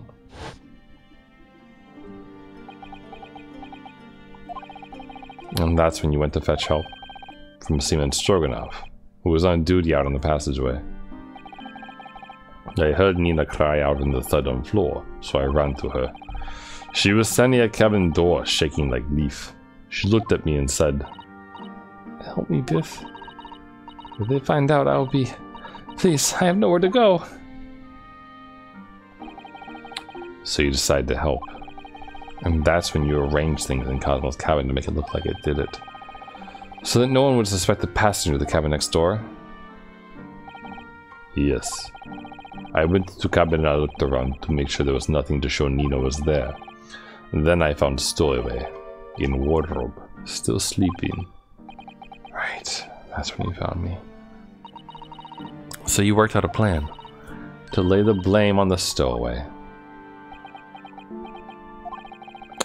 I closed wardrobe doors and put back strange paper sign. Luckily for me, that's the only reason Susato-san started believing I said I was innocent. I dragged young man's body to good place and used ink that was spilling to right on floor. I write wardrobe, so the person who found will look inside wardrobe and find story. And tell me, what of the glass bell? It was by my feet, so I picked it up. I see. But it was dark in the cabin. I didn't notice the other half. Then Angel went back to her cabin, and I finished too. By pressing the emergency alarm button in the passageway? Yes. Accordingly, the SS Burya did indeed come to an emergency halt at a little after 2 a.m., thus enticing the bolt in the cabin door to slide shut, creating the locked room mystery.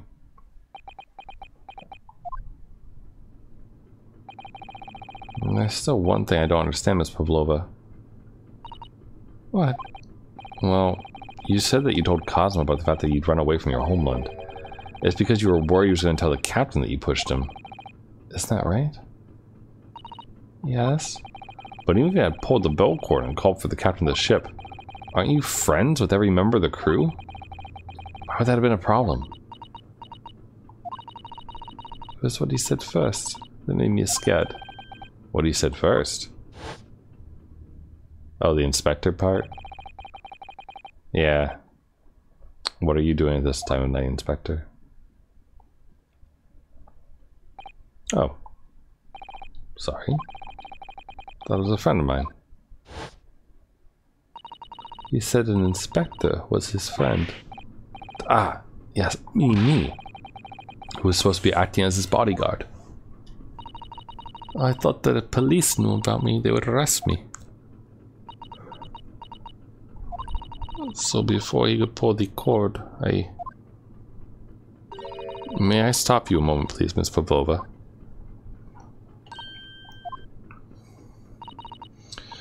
It just doesn't seem to make sense. I mean, was Mr. Asogi really going to pull the bell cord? I don't know. What? What do you think, Mr. Naruhodo?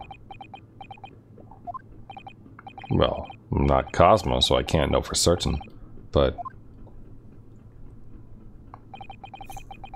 He was a man of his word. If he told you he wouldn't give your secret away, then he wouldn't have done. No, he, he was walking over to it. He was going to pull the cord. He was going to make them send me back. Well, Mr. Naruhodo, the day's work is not yet done, it seems. There's one more deduction to make. What? Another one? Yes, what action was the victim really about to take at that violent? He was going to open the wardrobe, obviously, and get our opinion on it. Can we determine whether the young man's gaze was directed?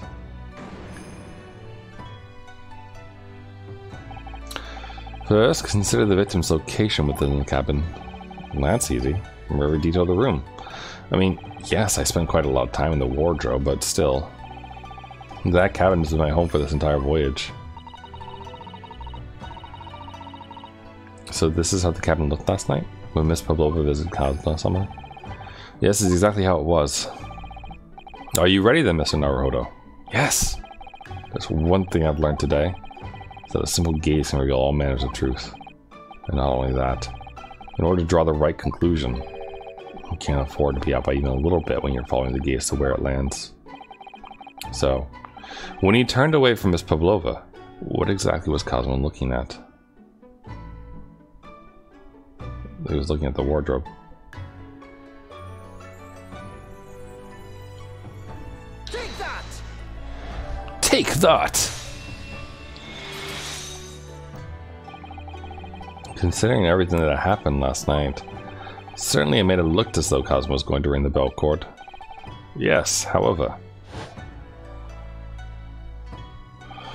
What is directly besides the bell cord? The wardrobe. The wardrobe. And more importantly, what was inside the wardrobe?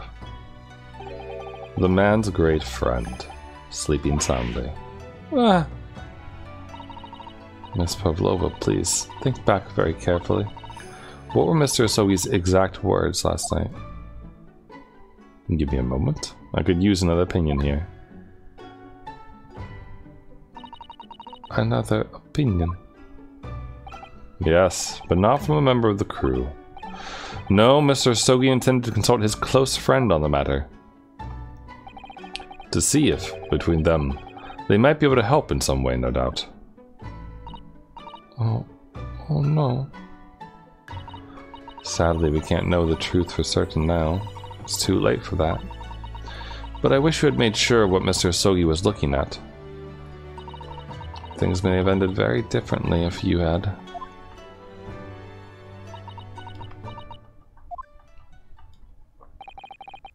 Miss Pavlova. I want to thank you for finally admitting the truth. But unfortunately, the truth is, a man lost his life because of what you did, and that will never change. I hope you'll never forget that. I'm sorry. Really, I'm so, so sorry. What have I done?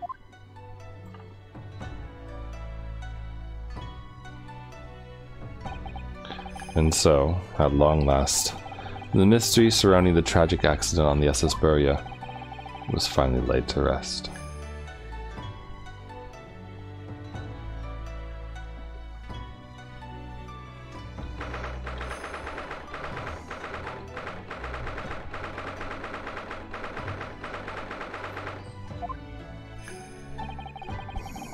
What will happen to Miss Pavlova now then? Once we reach Great Britain, she'll be handed over to the British police at Scotland Yard. What about the fact that she ran away from Russia? Won't the Russians try to repatriate her? Apparently, the English detective can speak to the immigration office and sort all that out. Mr. Sholmes can do that? So she won't be going back to Russia then? No, I don't think so. Even if she wanted to return in the future, I doubt she'd be able to. She ran away, so now she's in exile for life. I see. I am sorry. Seaman Strogenov? I wanted to help our angel no matter what. But I didn't think about you, about how you lost good friend. I will go with Nina. I will give myself to British police. That's kind of you. In the meantime, thank you for letting me go free again. Cosmo's death feels like such a waste, but...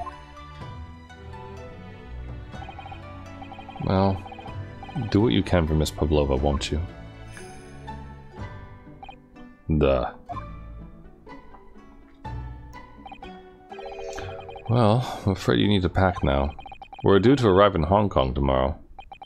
As much as it pains me, I'm going to have to hand you over to the consul to arrange your passage back to Japan. yes. I did stow away after all. Couldn't really expect any different. So, you should get back to your cabin now.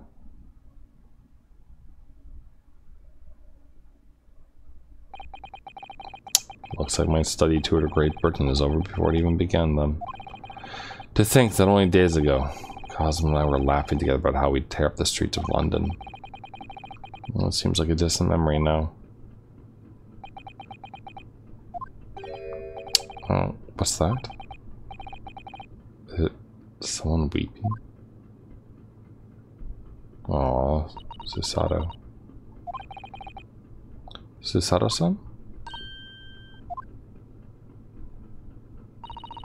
No, Horo-san. I, I didn't know you had returned. Oh, uh, well, I haven't been back long.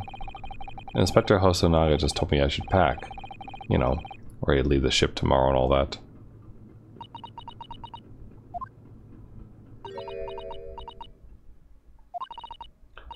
I still can't believe this has happened.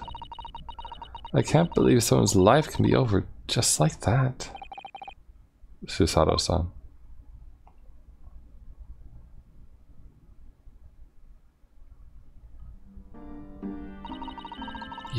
Grand ideas for this visit to Great Britain.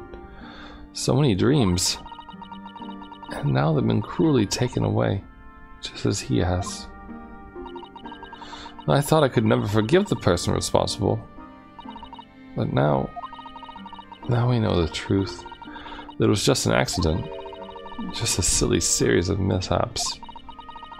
It's too much, Naruhodo-san. It's just too much. Yes, I know. I wish there was something I could say. Inspector, my duty was to see Asogi-san safely to Great Britain, but I failed, and caused his two closest friends great pain and suffering as a result. I've let everyone down. And I will do anything to make up for my terrible blunder. Nobody blames you, Inspector. And I'm freaking that... Huh? Surprise, Mr. Naruhodo. What, what, what is the meaning of this? Oh, a trifling matter. Simply that in my head, I think I shall always picture you wearing those shackles. Without them, the balance seems all wrong. It's distracting. Sorry? So I decided to restore them, for old time's sake, shall we say. You are a stowaway after all. Thinks this is funny?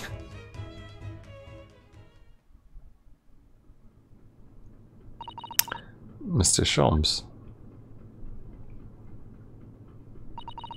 We do appreciate all your assistance. I'd like to thank you from the bottom of my heart. Not at all. Not at all. And though it is a little late, may I offer my sincere condolences? The loss of your companion is truly heartrending. I hope that you'll be able to fulfill some of his aspirations in his honor. I'm afraid that won't be possible. We shall be disembarking at the next port, in Hong Kong. We have to return to Japan and make a full report about everything that's happened. What? Wait a minute. It's just me that has to go back, isn't it? I mean, I was the stowaway.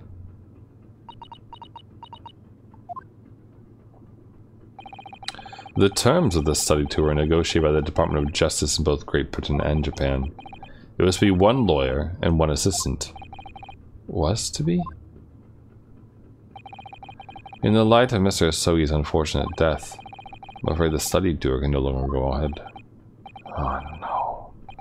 I don't care for me, but... Poor Susato-san. My dear fellows, the majority of problems have an extremely simple solution, you know. All you require is one lawyer, and the study tour can continue, surely. But there is no one else with the necessary qualifications, Mr. Sholmes. We know no other lawyer. Qualifications, you say? Any qualifications obtained in your own country will be of little value in Great Britain, I'm afraid. Oh, but... But anyway, the voyage to London still promises a good month of time. Ample opportunity, I would say, to find yourself another suitable lawyer. Yes. Um, Miss Susato? Yes? Do you think perhaps I might be able to do it? Huh? But you're not a lawyer, Mr. Naruhodo. Wrong. We were a lawyer in court in the first in the first episode, okay? Oh, unless... Are you studying law? No, I'm not, but... I'm sorry, in that case, I don't think there's even a chance it could work. But as I said, there's still more than a month before we reach England shores. Isn't that right, Mr. Naruhodo? Yes, I have a month in which to study, to learn what a mess between a lawyer and Great Britain. Mr. Naruhodo, that's ridiculous! Are you seriously suggesting anybody could learn all of that in just 40 days? There's only one way to find out. I would work my fingers to the bone, Inspector. Every single day. Will you let me try? And if, by the time we reach Great Britain, I haven't learned enough to be recognized as a lawyer, I'll take whatever punishment is deemed appropriate. But why put yourself in such a difficult position? For Cosma. He said that there was something he had to do in Great Britain, and that he would sacrifice anything to make it happen. I was passionate about it. Can't let all that passion just come to nothing. Anyway, it's for my own benefit too.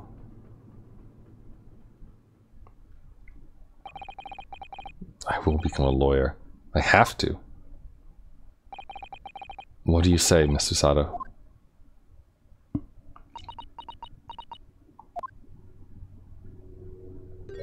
Oh, look at that smile. Look at that smile. I think it's a wonderful idea. Thank you. So, what does our bespectacled inspector friend say? Are you serious? One lawyer and one assistant. The numbers are indisputable. No, no, no, it's madness. Yet fascinating, wouldn't you agree? Fascinating. Duty and rules are the dull routine of existence that we have all poor. Give us interest. Give us fascination. Speak for yourself. Besides, qualifications are no measures of a man. What matters is character, no? And you've witnessed ample evidence of this man's exemplary character today with your own eyes. From the early hours of this morning until this very moment now. Despite contending with the passing of his close, his close companion, and despite the accusation of guilt, this man has shown resourcefulness, intelligence, and above all, courage.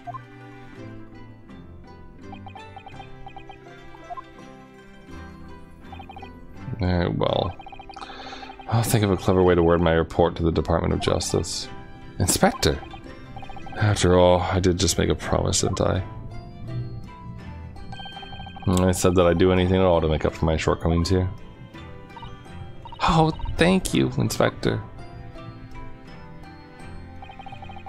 If you'll excuse me, I must pay a visit to the captain's quarters, I think. I need to discuss what to do next, and how best to make my report.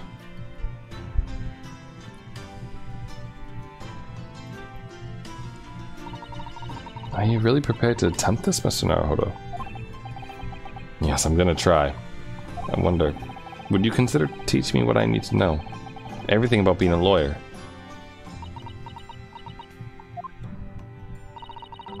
I would be delighted to help you.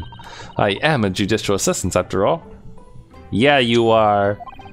Thank you. And Mr. Naruhodo, I'd like you to take charge of this. What? Me? Are you sure?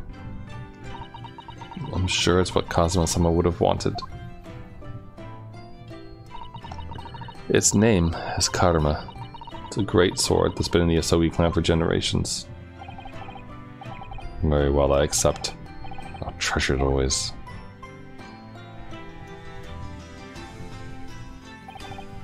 So then, Miss Susato. It seems we'll be working together for some time to come yet. It will be an honor, Mr. Naruhodo. And for the next 40 days, I shan't grant you a single minute of freedom. We shall fill every spare moment with study. Look, she's so fucking cute. It's exactly what I need. But before we begin, I have an earnest favor to ask of you two. Goodness, what is it?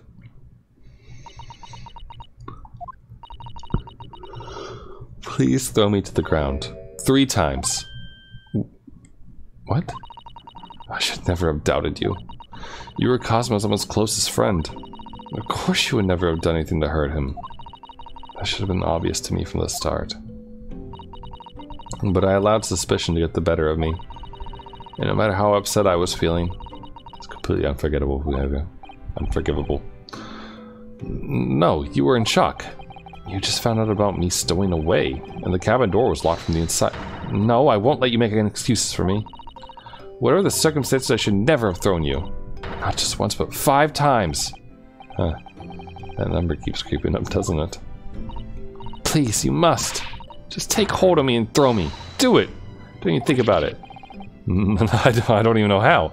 Never thrown anyone in my life. Very wise, Mr. Naruto. It isn't a skill one acquires without considerable training. Oh, Mr. Sholmes. I absorbed your throwing technique several times with great interest. I confess I was most impressed. When did he see that? I presume that would be a form of Japanese wrestling. Oh, well, in a way. It's not wrestling, but my own interpretation of an ancient jujutsu technique. Apparently, it's called the Susato Takedown. Leave your head swimming. Leave me. Hmm, how beguiling. I'm a practitioner of the combative arts myself. I'm a somewhat accomplished boxer. It's true. Sherlock Holmes practiced baritsu. There he goes dancing around again. I wonder if you'd be so kind as to instruct me on the technique of your arresting throw. Yes, I'd be honored.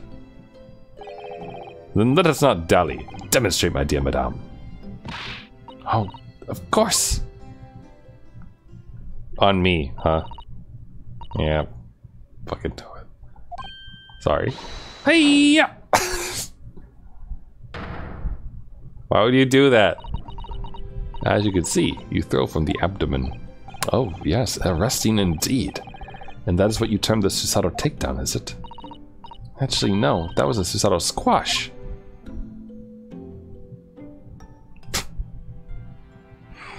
Uh, in my groggy state of consciousness, the scene from an evening recently spent with Kazuma flickered into my mind.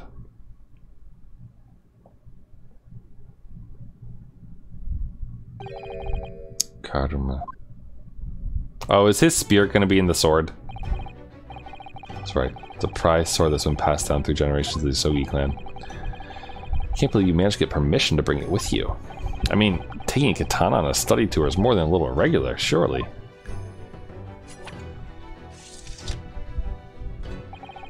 The Japanese man's sword is his soul, Ryunosuke.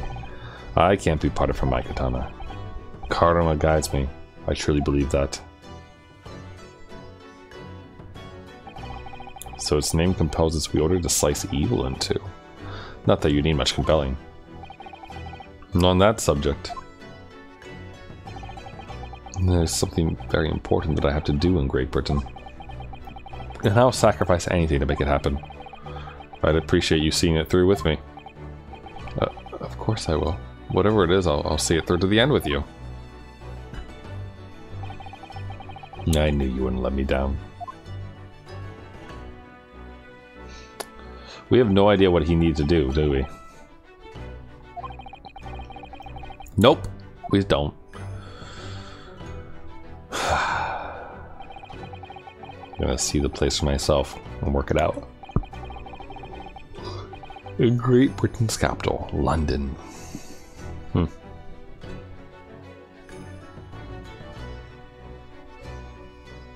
Fiend. Do, do, do, do, do. All right, there we go.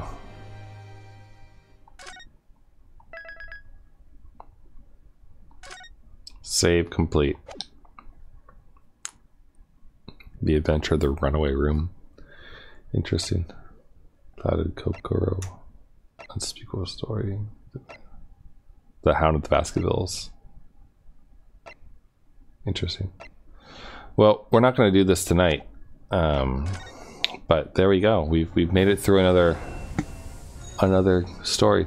And this one didn't even have like a real murder in it. So that was a difference than usual, which is good.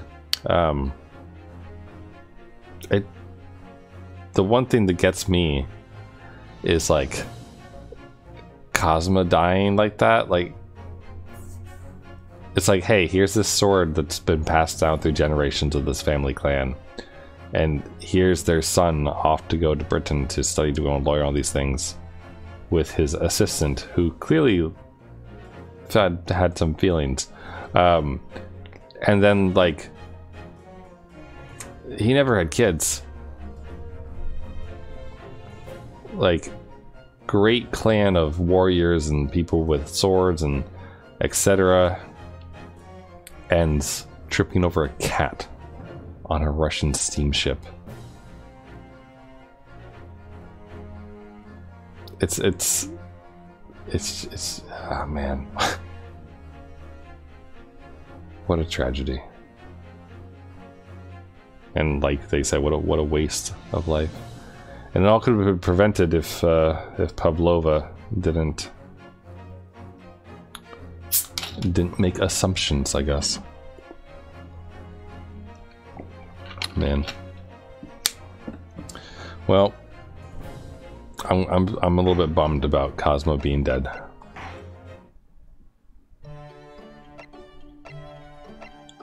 Taylor. Oh, you can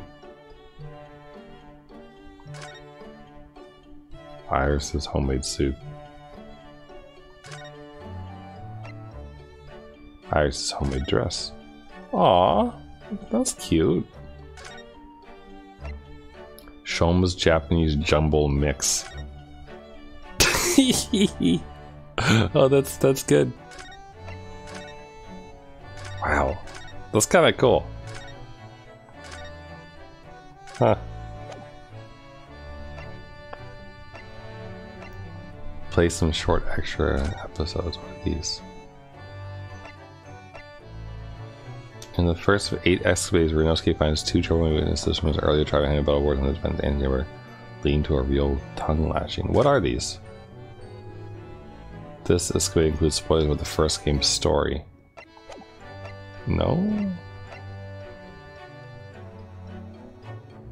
Hmm. Another crime was committed aboard the SS Burya. Interesting. British, okay. So you could theoretically watch these two. Maybe I, I might wait until I get through the the game first. Oh, there's an adorable person here. Okay, that's cool though. Auditorium. Voice clips. Oh, can you have them doing the uh Yep.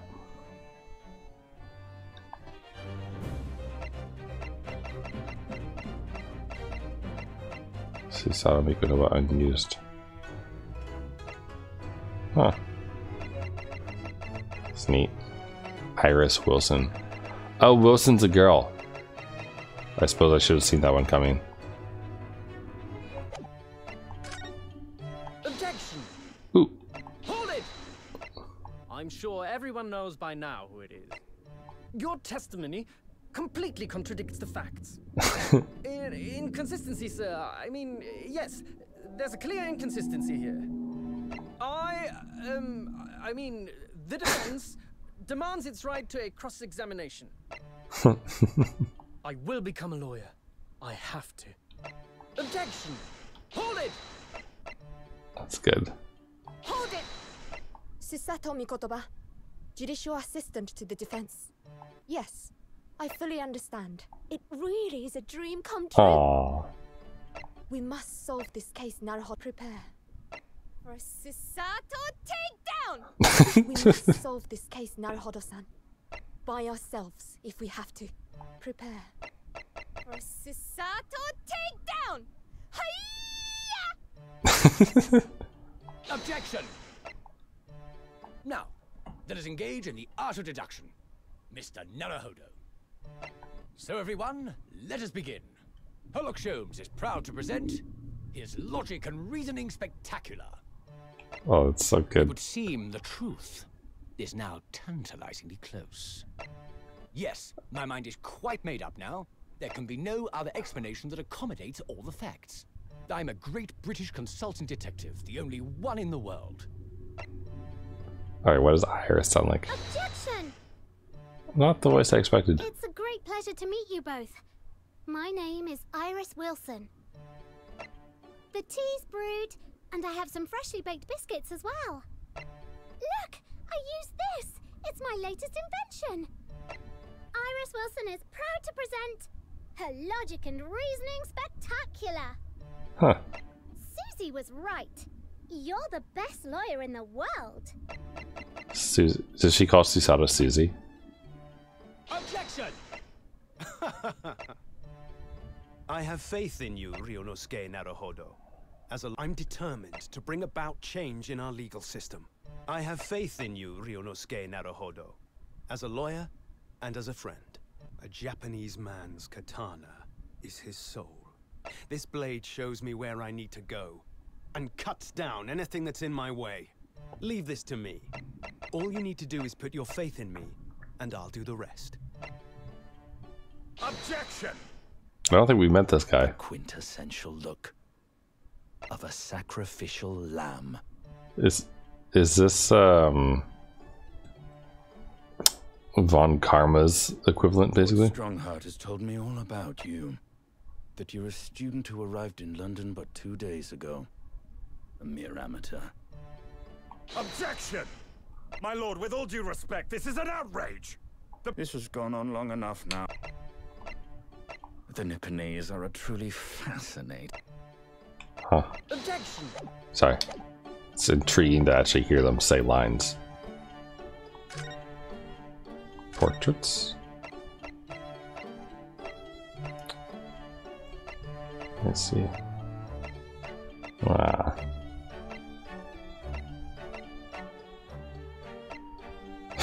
like show. I'm sorry. The name's so like it's still very silly. Oh, he has hair under there. Oh, I guess that makes sense.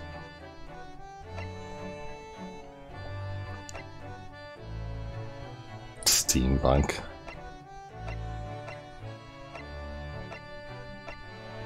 Huh.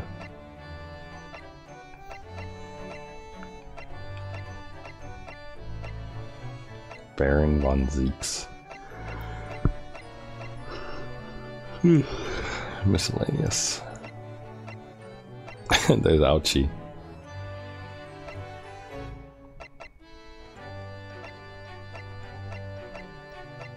A lot of people in here. The old Bailey judge, alright. So that's what we'll get in Britain. Rolly and... Oh, I thought this was Pat, or uh, Polly for a second. Lestrade! Excellent. It's gonna be a Lestrade. They really went hard on the Sherlock Holmes stuff, huh? Cool. Alright. That, that was neat to see. Okay, for realsies, now I'm done. Um, I'll, I'll catch you all tomorrow? Yeah, tomorrow. Um, tomorrow is Wednesday, which means that I need to, um, I'll be attending my Japanese class as per usual.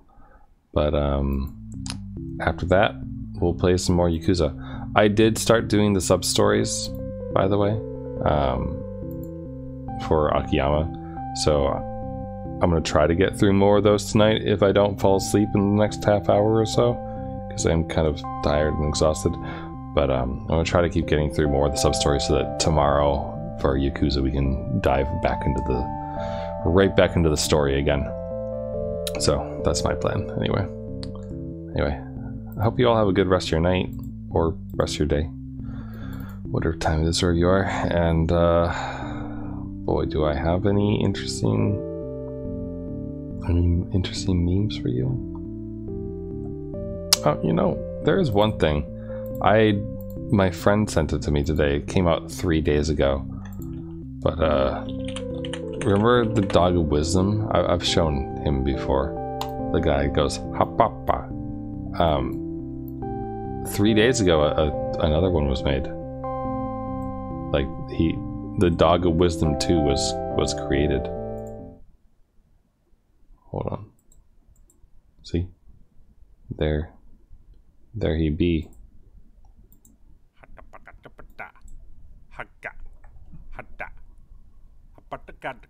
So, go forth.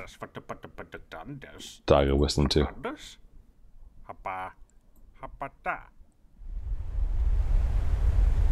Ye.